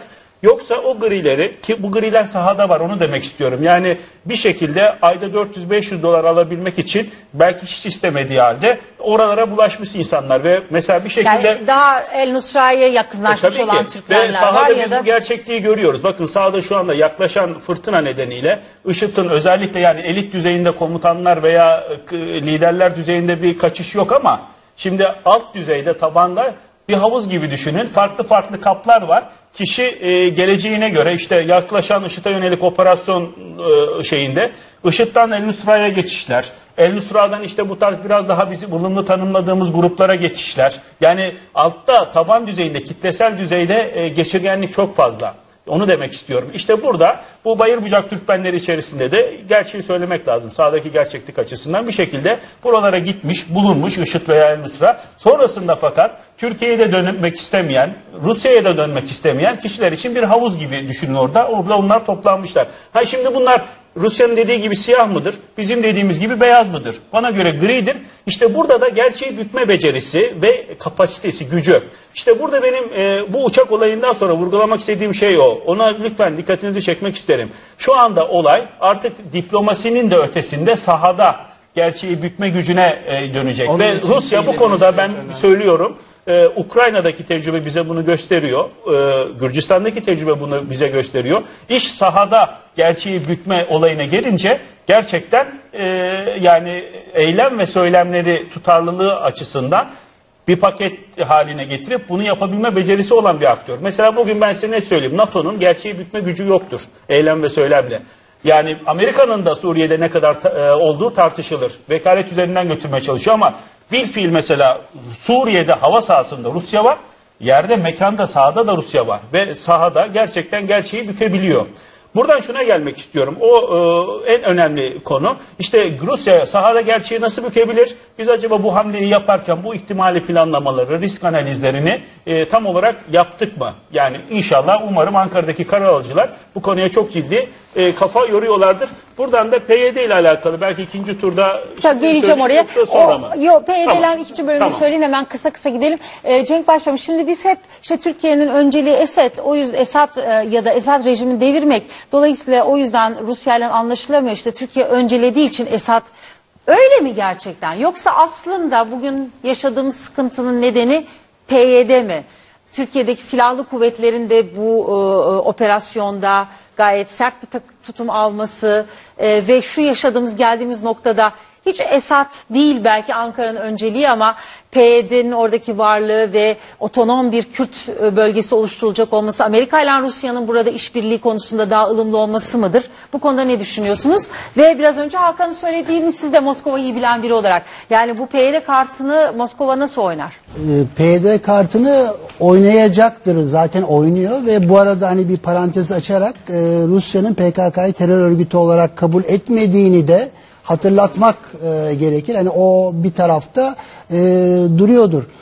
E, şimdi galiba programın süresi de e, azalıyor. E, bizim burada konuştuğumuz e, şeylerden biri de Türk-Rus ilişkileri nereye gidiyor? Rusya ne yapabilir? Önümüzde çok kritik bir tarih var. Bu tarihte 14-15 Aralık yani e, İyi ki hatırlattınız. Evet. UDİK denilen Üst Düzey İşbirliği Konseri, e, Konseyi e, Türk e, ve Rus liderleri her yılın sonunda bir araya getiren bir e, mekanizma. Şimdi burada ben çok merak ediyorum. Rusya'nın Türkiye'ye karşı atacağı adımlar arasında UDİ'yi iptal etmek var mı? Bu bu çünkü hani bence felaket senaryosuna doğru gider iş o zaman. Eğer işte sanıyorum Moskova'da yapılması gerekiyor. galiba. Kazan. Kazan ya da Moskova, Soçi'de konuşuluyordu. Ama sonuçta Rusya'da yapılacak. Rusya bu zirveyi iptal edecek mi, etmeyecek mi? Bugün nasıl La- Lavrov'un gelip gelmemesinin çok önemli bir göstergeydi. Evet. Olayların gelişimi açısından şimdi bizim artık e, UDİK toplantısı yapılacak mı, yapılmayacak mı, iptal mi edilecek, ertelenecek mi? E, bunu e, dikkatli Peki bir şekilde... ne olursa ertelenmez, ne olursa ertelenir. Şu anda top Rusya'da. Şu Mı? anda Ankara'da değil şu mi? anda bence top Rusya'da. Lavrov e, bugün ÜDİK e, ön toplantısı için geliyordu normal şartlarda. Ankara'daki toplantıya- gündem buydu. Yani ÜDİK toplantısının gündemini belirlemek için geliyordu. Tamam ama bu bu olay gerçekleştikten sonra bu iptal edildi. Şimdi topu ortalama da olabilir Lavrov'un gelmeyişi. Hani bundan Şimdi sonra sen bunu nasıl düşünmek için e, manevra önümüzde bir yapacaksın? birkaç haftalık bir süre var. Yani biz derken yani Rusların da düşünmesi için önümüzde birkaç haftalık e, bir süre var. E, hani dilerim ki bu iptal edilmez çünkü işler iyice sarpa sarmaya başladı. Atlamış olmayan. Siz diyorsunuz ki bu noktadan itibaren Rusya'nın ne yapacağı artık önemli. Ankara'nın yapabileceği manevra açısından Hayır bir öyle şey bir yok. şey. Hayır ben UDİK konusundan bahsediyorum. Tamam. Hani Hayır, işte onu şimdi sonuçta o iki taraf sembol- var. Ortada bir sorun ve iki taraf var. Elbette Türkiye'nin de yapacağı, yapabileceği ya da yapmayacağı şeyler var. Buna karşılık hani şu anda öfkeli olan e, kızgın durumda olan ben size bunun hesabını sorarım diyen bir e, Rusya var. Ve bu toplantıda orada yapılacağı için e, Rusların tavrı bence daha belirleyici olacak. Yani ben Ankara'nın kalkıp da UDİ'yi iptal ediyoruz işte ba- Cumhurbaşkanı Erdoğan Rusya'ya gitmiyor diyeceğini e, düşünmüyorum. Böyle bir şey olacak ama karşı taraftan iptal edilmesi olasılığının bulunduğunu e, düşünüyorum ki Rusya'nın işte Putin'in konuşmasından bu yana geçen saatlerdeki e, taktiğine politikasına da uygun düşer gibi gözüküyor. Hani ne demektir? E, Türkiye Mısır'dan daha az tehlikeli bir ülke değildir. Gitmeyin Türkiye. Yani bu çok ciddi tehditler bunlar. Ve hani kimse e, milyonlarca Rus vatandaşı bunun derinlemesine bilmek, tartışmak durumunda değil. İşte devletini yönetenler gitmeyin. Git, gitmezler yani. Bu konu e, böyle bir de bir de e, Şaban Bey e, söyledi. E, Habibe Hanım da, da değindi. Rusya'nın e, işi de çok fazla bulaşmaması hikayesi. Yani bombaladığı şeyler. Ya benim e, görüşüm o ki e, karşı çıkanlar olacaktır mutlaka ama IŞİD'in Rusya'nın umurunda olduğunu falan düşünmüyorum ben. Rusya IŞİD'i bir propaganda malzemesi olarak kullanıyor. Daha doğrusu Suriye'deki varlığını meşru hale getirmek için.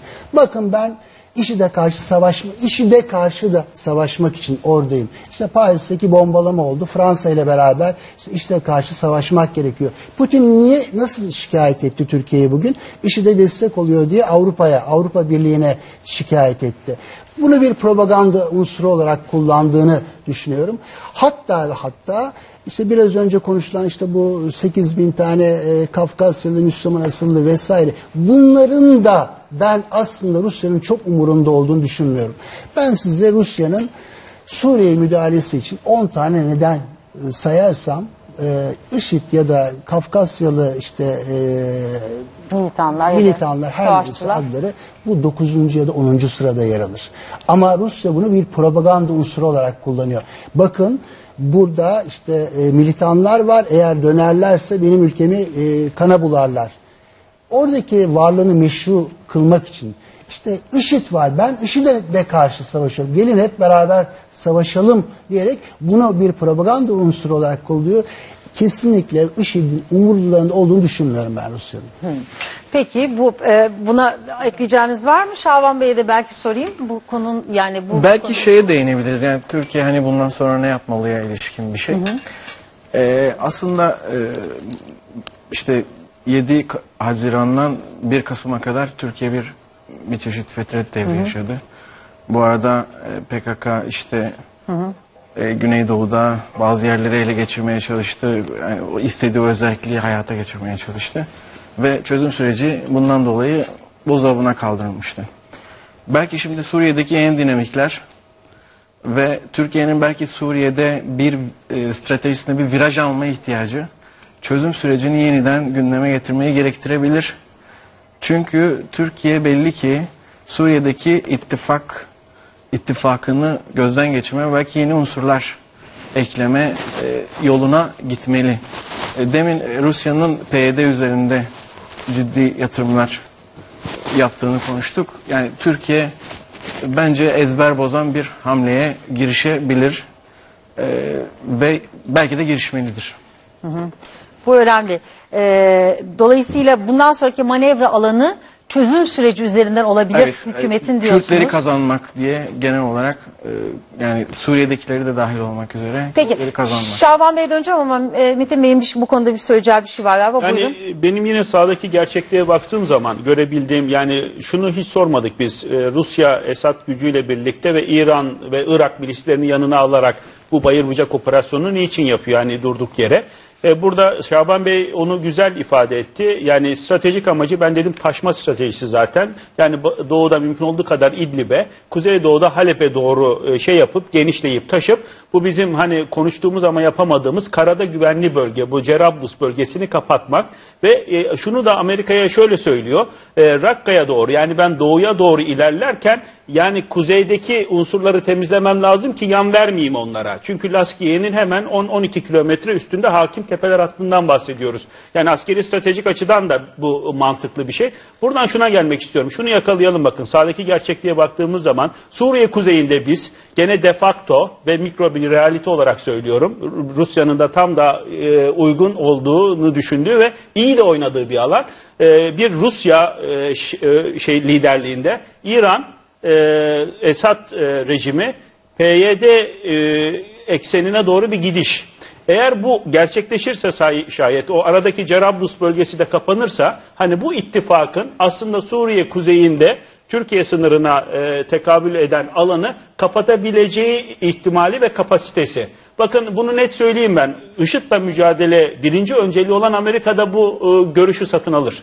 Çünkü bu net bir e, yorum. Çünkü Amerika'nın birinci önceliği bu. Şayet gerçeği bükebilme gücünden gene bahsediyorum ve sahada bunu e, gösterebilme gücü çok önemli şu anda. Hani Rusya bu ittifakı kurabilirse, PYD'yi de yanına alabilirse, Cerablus'u da ben o taşma stratejimle kardeşim buraya gelirim ve bu alanı da kapatırım. E senin istediğin de bu değil miydi? Amerika'da bakın hep ona biz atlıyoruz.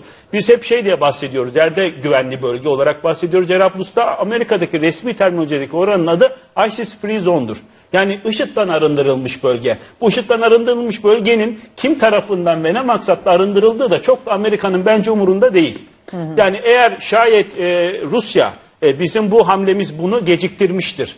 Bir de Rusya zamanı oynuyor. Bunu da yakalayalım. Önünde çok az bir zaman var. Amerika'da bence zamansal olarak çok kısa bir kredi açtı ona. Her ne kadar şu dönemde etkisizleşse de. Eğer PYD'yi de yakınına alabilirse ve Suriye kuzeyinde e, Rusya, e, İran, tabii destekli dolaylı desteğiyle Esad rejimi ve bir PYD ittifakı kurulursa işte o zaman bu Türkiye'nin Suriye'nin geri kalan kısmıyla tamamen e, irtibatını kesecek olan bir de facto ittifaktır. E, Amerika da buna bence çok hayır demez. Hal böyle olunca da bu sefer e, Türkiye'nin dış politika ve Suriye öncelikleri konusunda çok ciddi yapısal değişiklikler olabilecek sonuçlar doğurur. E, ilginç bir tespit. Şaban Bey ne diyorsunuz bu tespite? Hem e, e, Metin Bey'in söylediklerine hem de Aşkın Bey'in önerisine. Şimdi burada bir yol ayrımı olacak mı? Sorayım. Yani önce çözüm sürecini mi önceleyip orası üzerinden ilerlemek yoksa çözüm süreci ve e, Türkiye'nin içindeki meseleyi bir süreliğine bırakıp PYD ile daha önce MİT'in e, Salim Müslim'le görüştüğünü biliyoruz. Yeni bir PYD e, e, politikasına bir geçiş yapması bu Metin Bey'in e, çizdiği tabloyu değiştirebilir mi? En azından böyle olabileceğine siz de katılabiliyor musunuz? Katılıyor musunuz? Ne dersiniz? Ee, Evet teşekkürler. Aslında birkaç nokta var. Hızlıca süremiz de e, azaldı e, Evet. anlaşılan. O yüzden tempolu lütfen. Yani krizin bundan sonraki evriminde Rusya'nın tercihleri e, belirleyici olacak denmişti. Ben de buna katılıyorum. Bu da aslında Rusya'nın e, Cenk Bey'in de ifade ettiği gibi buradaki asıl niyeti ne sorusuna daha net bir cevap vermemizi mümkün kılacak ve Rusya'nın IŞİD'le mücadele e, kisvesi altında örtmeye çalıştığı o diğer hedeflerini çok açık bir şekilde ortaya koyacak. Bu da e, Batı ile ilişkilerinde yeni bir dönem açabilir. Batı'nın Rusya'nın e, Suriye'deki hedeflerine, emellerine ve politikasına yeni bir gözle bakmasını e, beraberinde getirebilir. Özellikle burada hala hazırda işte bahsedildi Laskiye o civardaki Rusya'nın kendi askeri varlığını, üslerini güçlendirmek için arka e, cepheleri ele geçirme arayışı Hala hazırda oraya getirdiği askeri kuvvet IŞİD gibi bir yapıyla mücadelenin çok ötesinde bir askeri kuvvet. Şimdi e, pek ona girme imkanı olmadı ama Rusya Savunma Bakanlığı'ndan alınacak önlemlerle ilgili e, yapılan açıklamaya baktığımız zaman bir yandan işte Türkiye ile askeri iletişimin e, temasların e, sınırlanması bir yandan da işte Akdeniz'e e, yeni askeri kapasite götürülmesi özellikle orada e, füzelerle donatılmış e, gemilerin götürülmesi. Bütün bunlar ileride Rusya'nın e, oradaki askeri varlığını sahadaki gerekliliklerin ötesinde çok daha ileride bir noktaya çekmeye çalıştığını e, gösteriyor. Bu da NATO'dan farklı bir tepki doğurabilir. E, PYD e, konusuna e, gelirsek e, Metin Bey'in e, bahsettiği bu IŞİD'den arındırılmış bölge Amerikan jargonunda aslında Türkiye'nin jargonunda da bu örtüşüyor.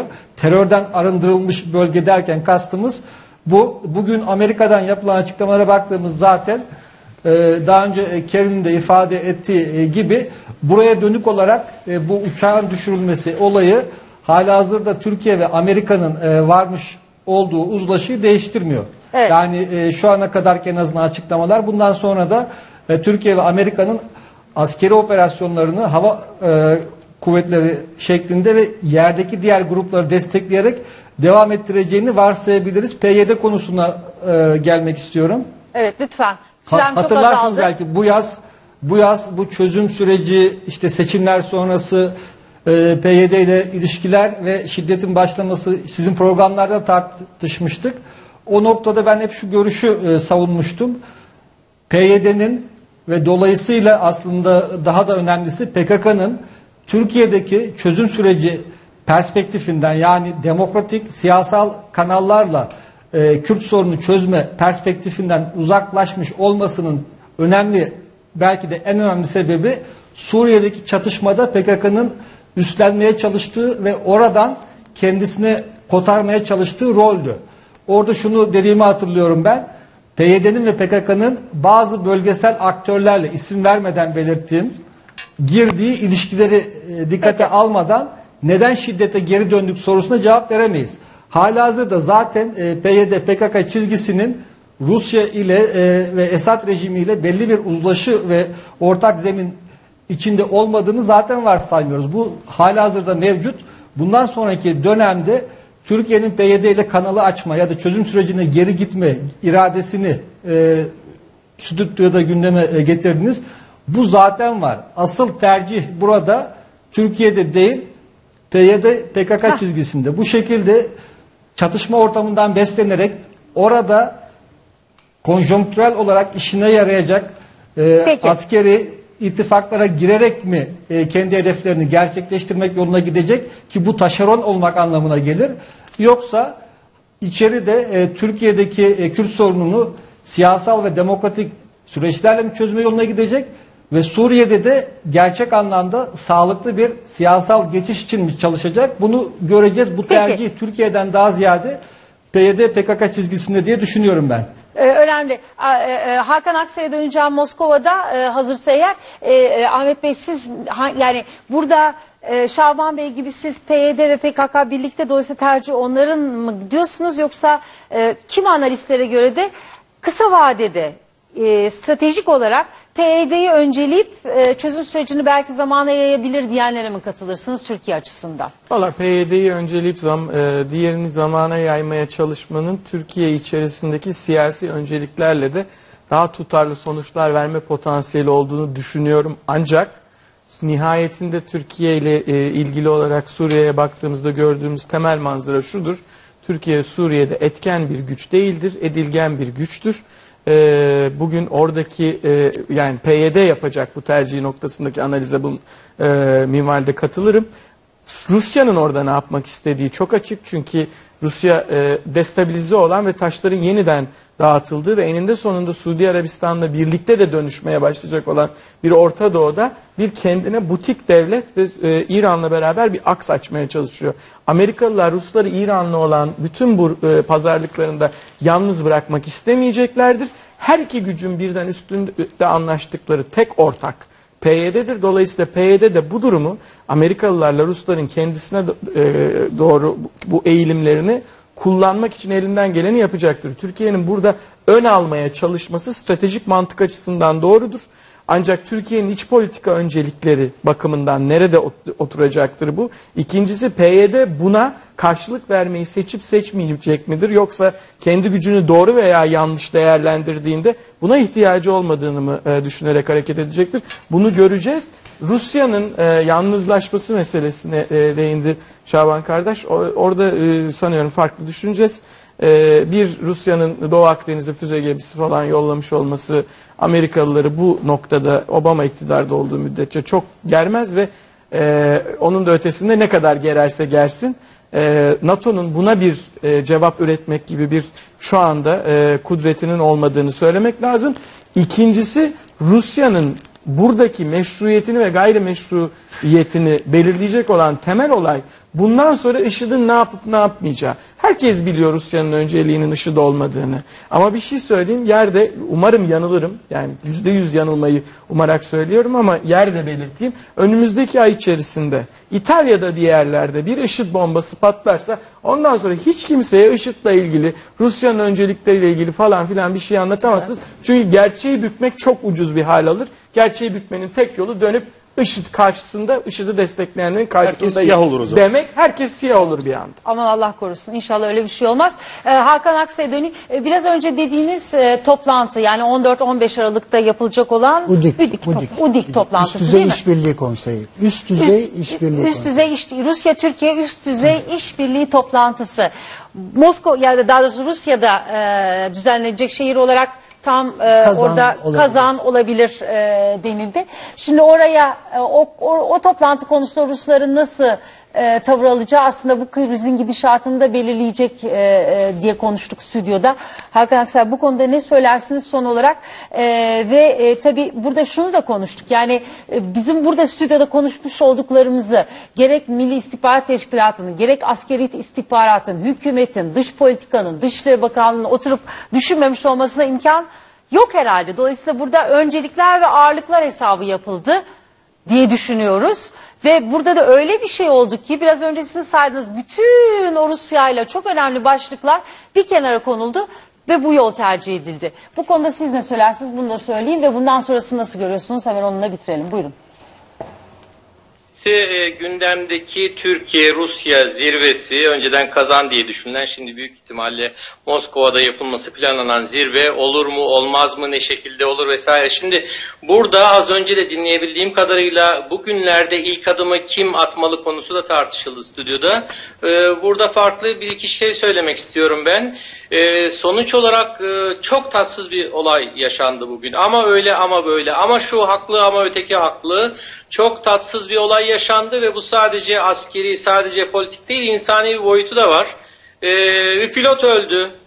E, sonuç olarak şurada bu yorumla yapılan bir angajman uygulaması oldu. Şimdi Putin'in açıklamasından bir iki cümleyi burada tekrarlamak gerekirse olay sonrasında Rusya ile ilişki kurmak yerine e, Türkiye'nin derhal e, NATO'ya başvurmasını yadırgadığını belli etti Türk, e, Putin. E, şimdi doğruydu yanlıştı bir uygulama yapıldı. E, bu Rusya'ya e, anlatılma yolu seçilebilirdi gibime geliyor. İşte şöyle şöyle angajman kuralları bunu uyguluyoruz. Ama sonuçtan dolayı üzgünüz orada insan e, şeyine de e, yol açılmış, insanın ölmesine de yol açılmış. Ama bizim kurallarımız biz bundan dolayı e, vesaire. Bu konuda bu vurgular vardı e, bazı açıklamalarda. Düşmanlık yok ama der, de- denildi ama e, ağırlıkta böyle bir polemikçi e, şey üslup seçildi gibi. E, bu konuda belki de bugünlerde Türkiye'den atılması gereken şeyler, adımlar var. Bunlar şey değil öyle ulusal gururu incitecek, devlet olma şeyini, vasfını geriye itecek şeyler falan değil. Yine aynı ülkeyle ilişkilerimizden söyleyelim. Rusya o ilk e, ihlallerinden sonra Türkiye'den defalarca özür diledi.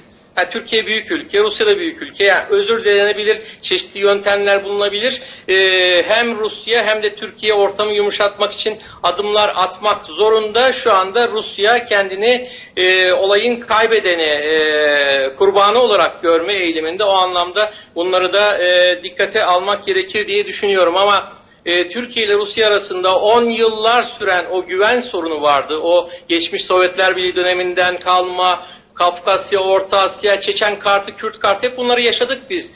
Orada hep güven sorunu vardı ve bu güven sorunu işte e, Cenk'in de az önce çok yerinde söylediği gibi 2004'ten sonra başlayan dönemde e, ortam değişmişti. İklim e, gerçekten farklılaşmıştı. Şu anda bugünden itibaren çok ciddi bir güven sorunu var. Umarım bunu aşmak için taraflar üzerlerine düşen şeyleri yapar.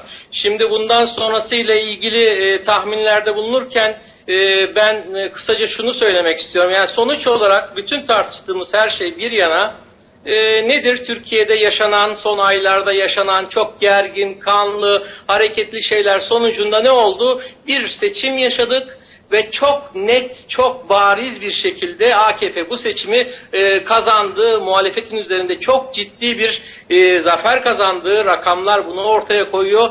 Bundan sonra ne yapmak, nasıl yaşamak, Türkiye'yi nasıl yönetmek, e, gerek e, Kürt konusunda, gerek iç politikanın değişik unsurları konusunda, ekonomi konusunda ve nihayet kuşkusuz dış politika konusunda böylesine güçlü bir zaferden sonra iktidar partisinin bir sürü alanda tutumlarını gözden geçirme, revize etme ve bunu da yaparken hiç komplekse katılmadan, kapılmadan e, bazı aksiyen yönlerini, hatalı ya da iyi gitmeyen yönlerini e, onarma, değiştirme şansı çok rahatlıkla vardı.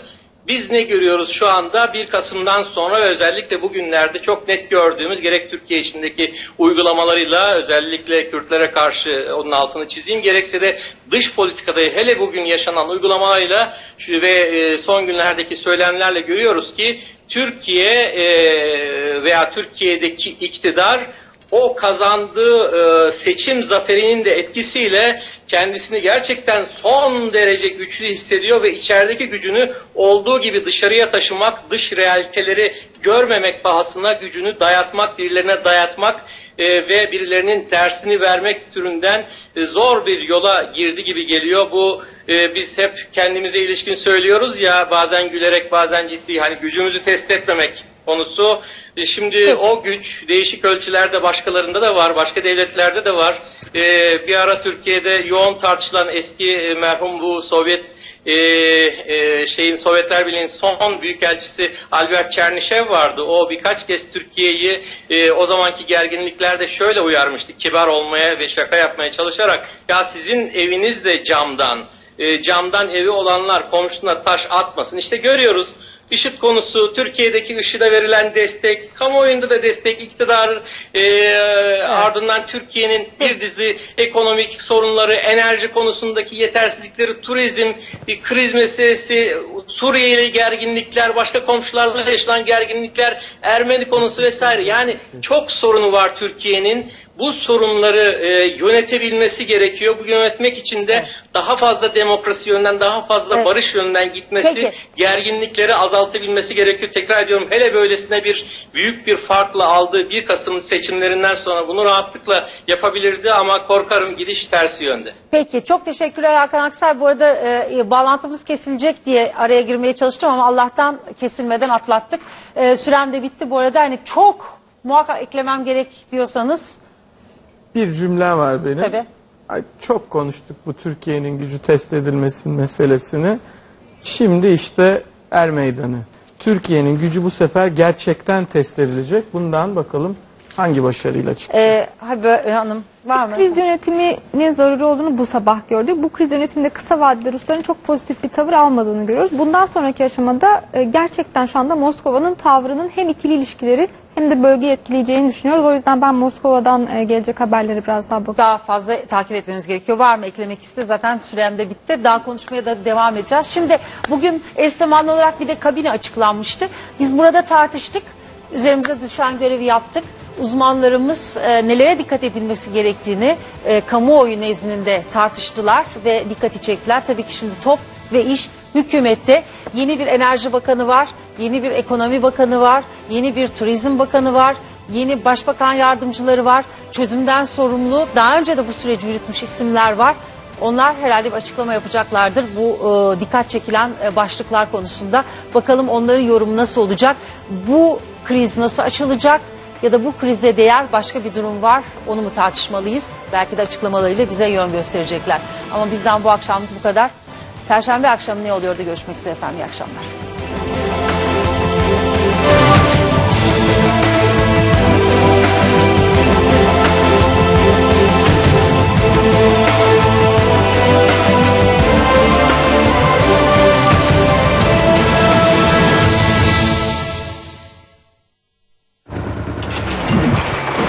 Fer Yapı Parima sunar.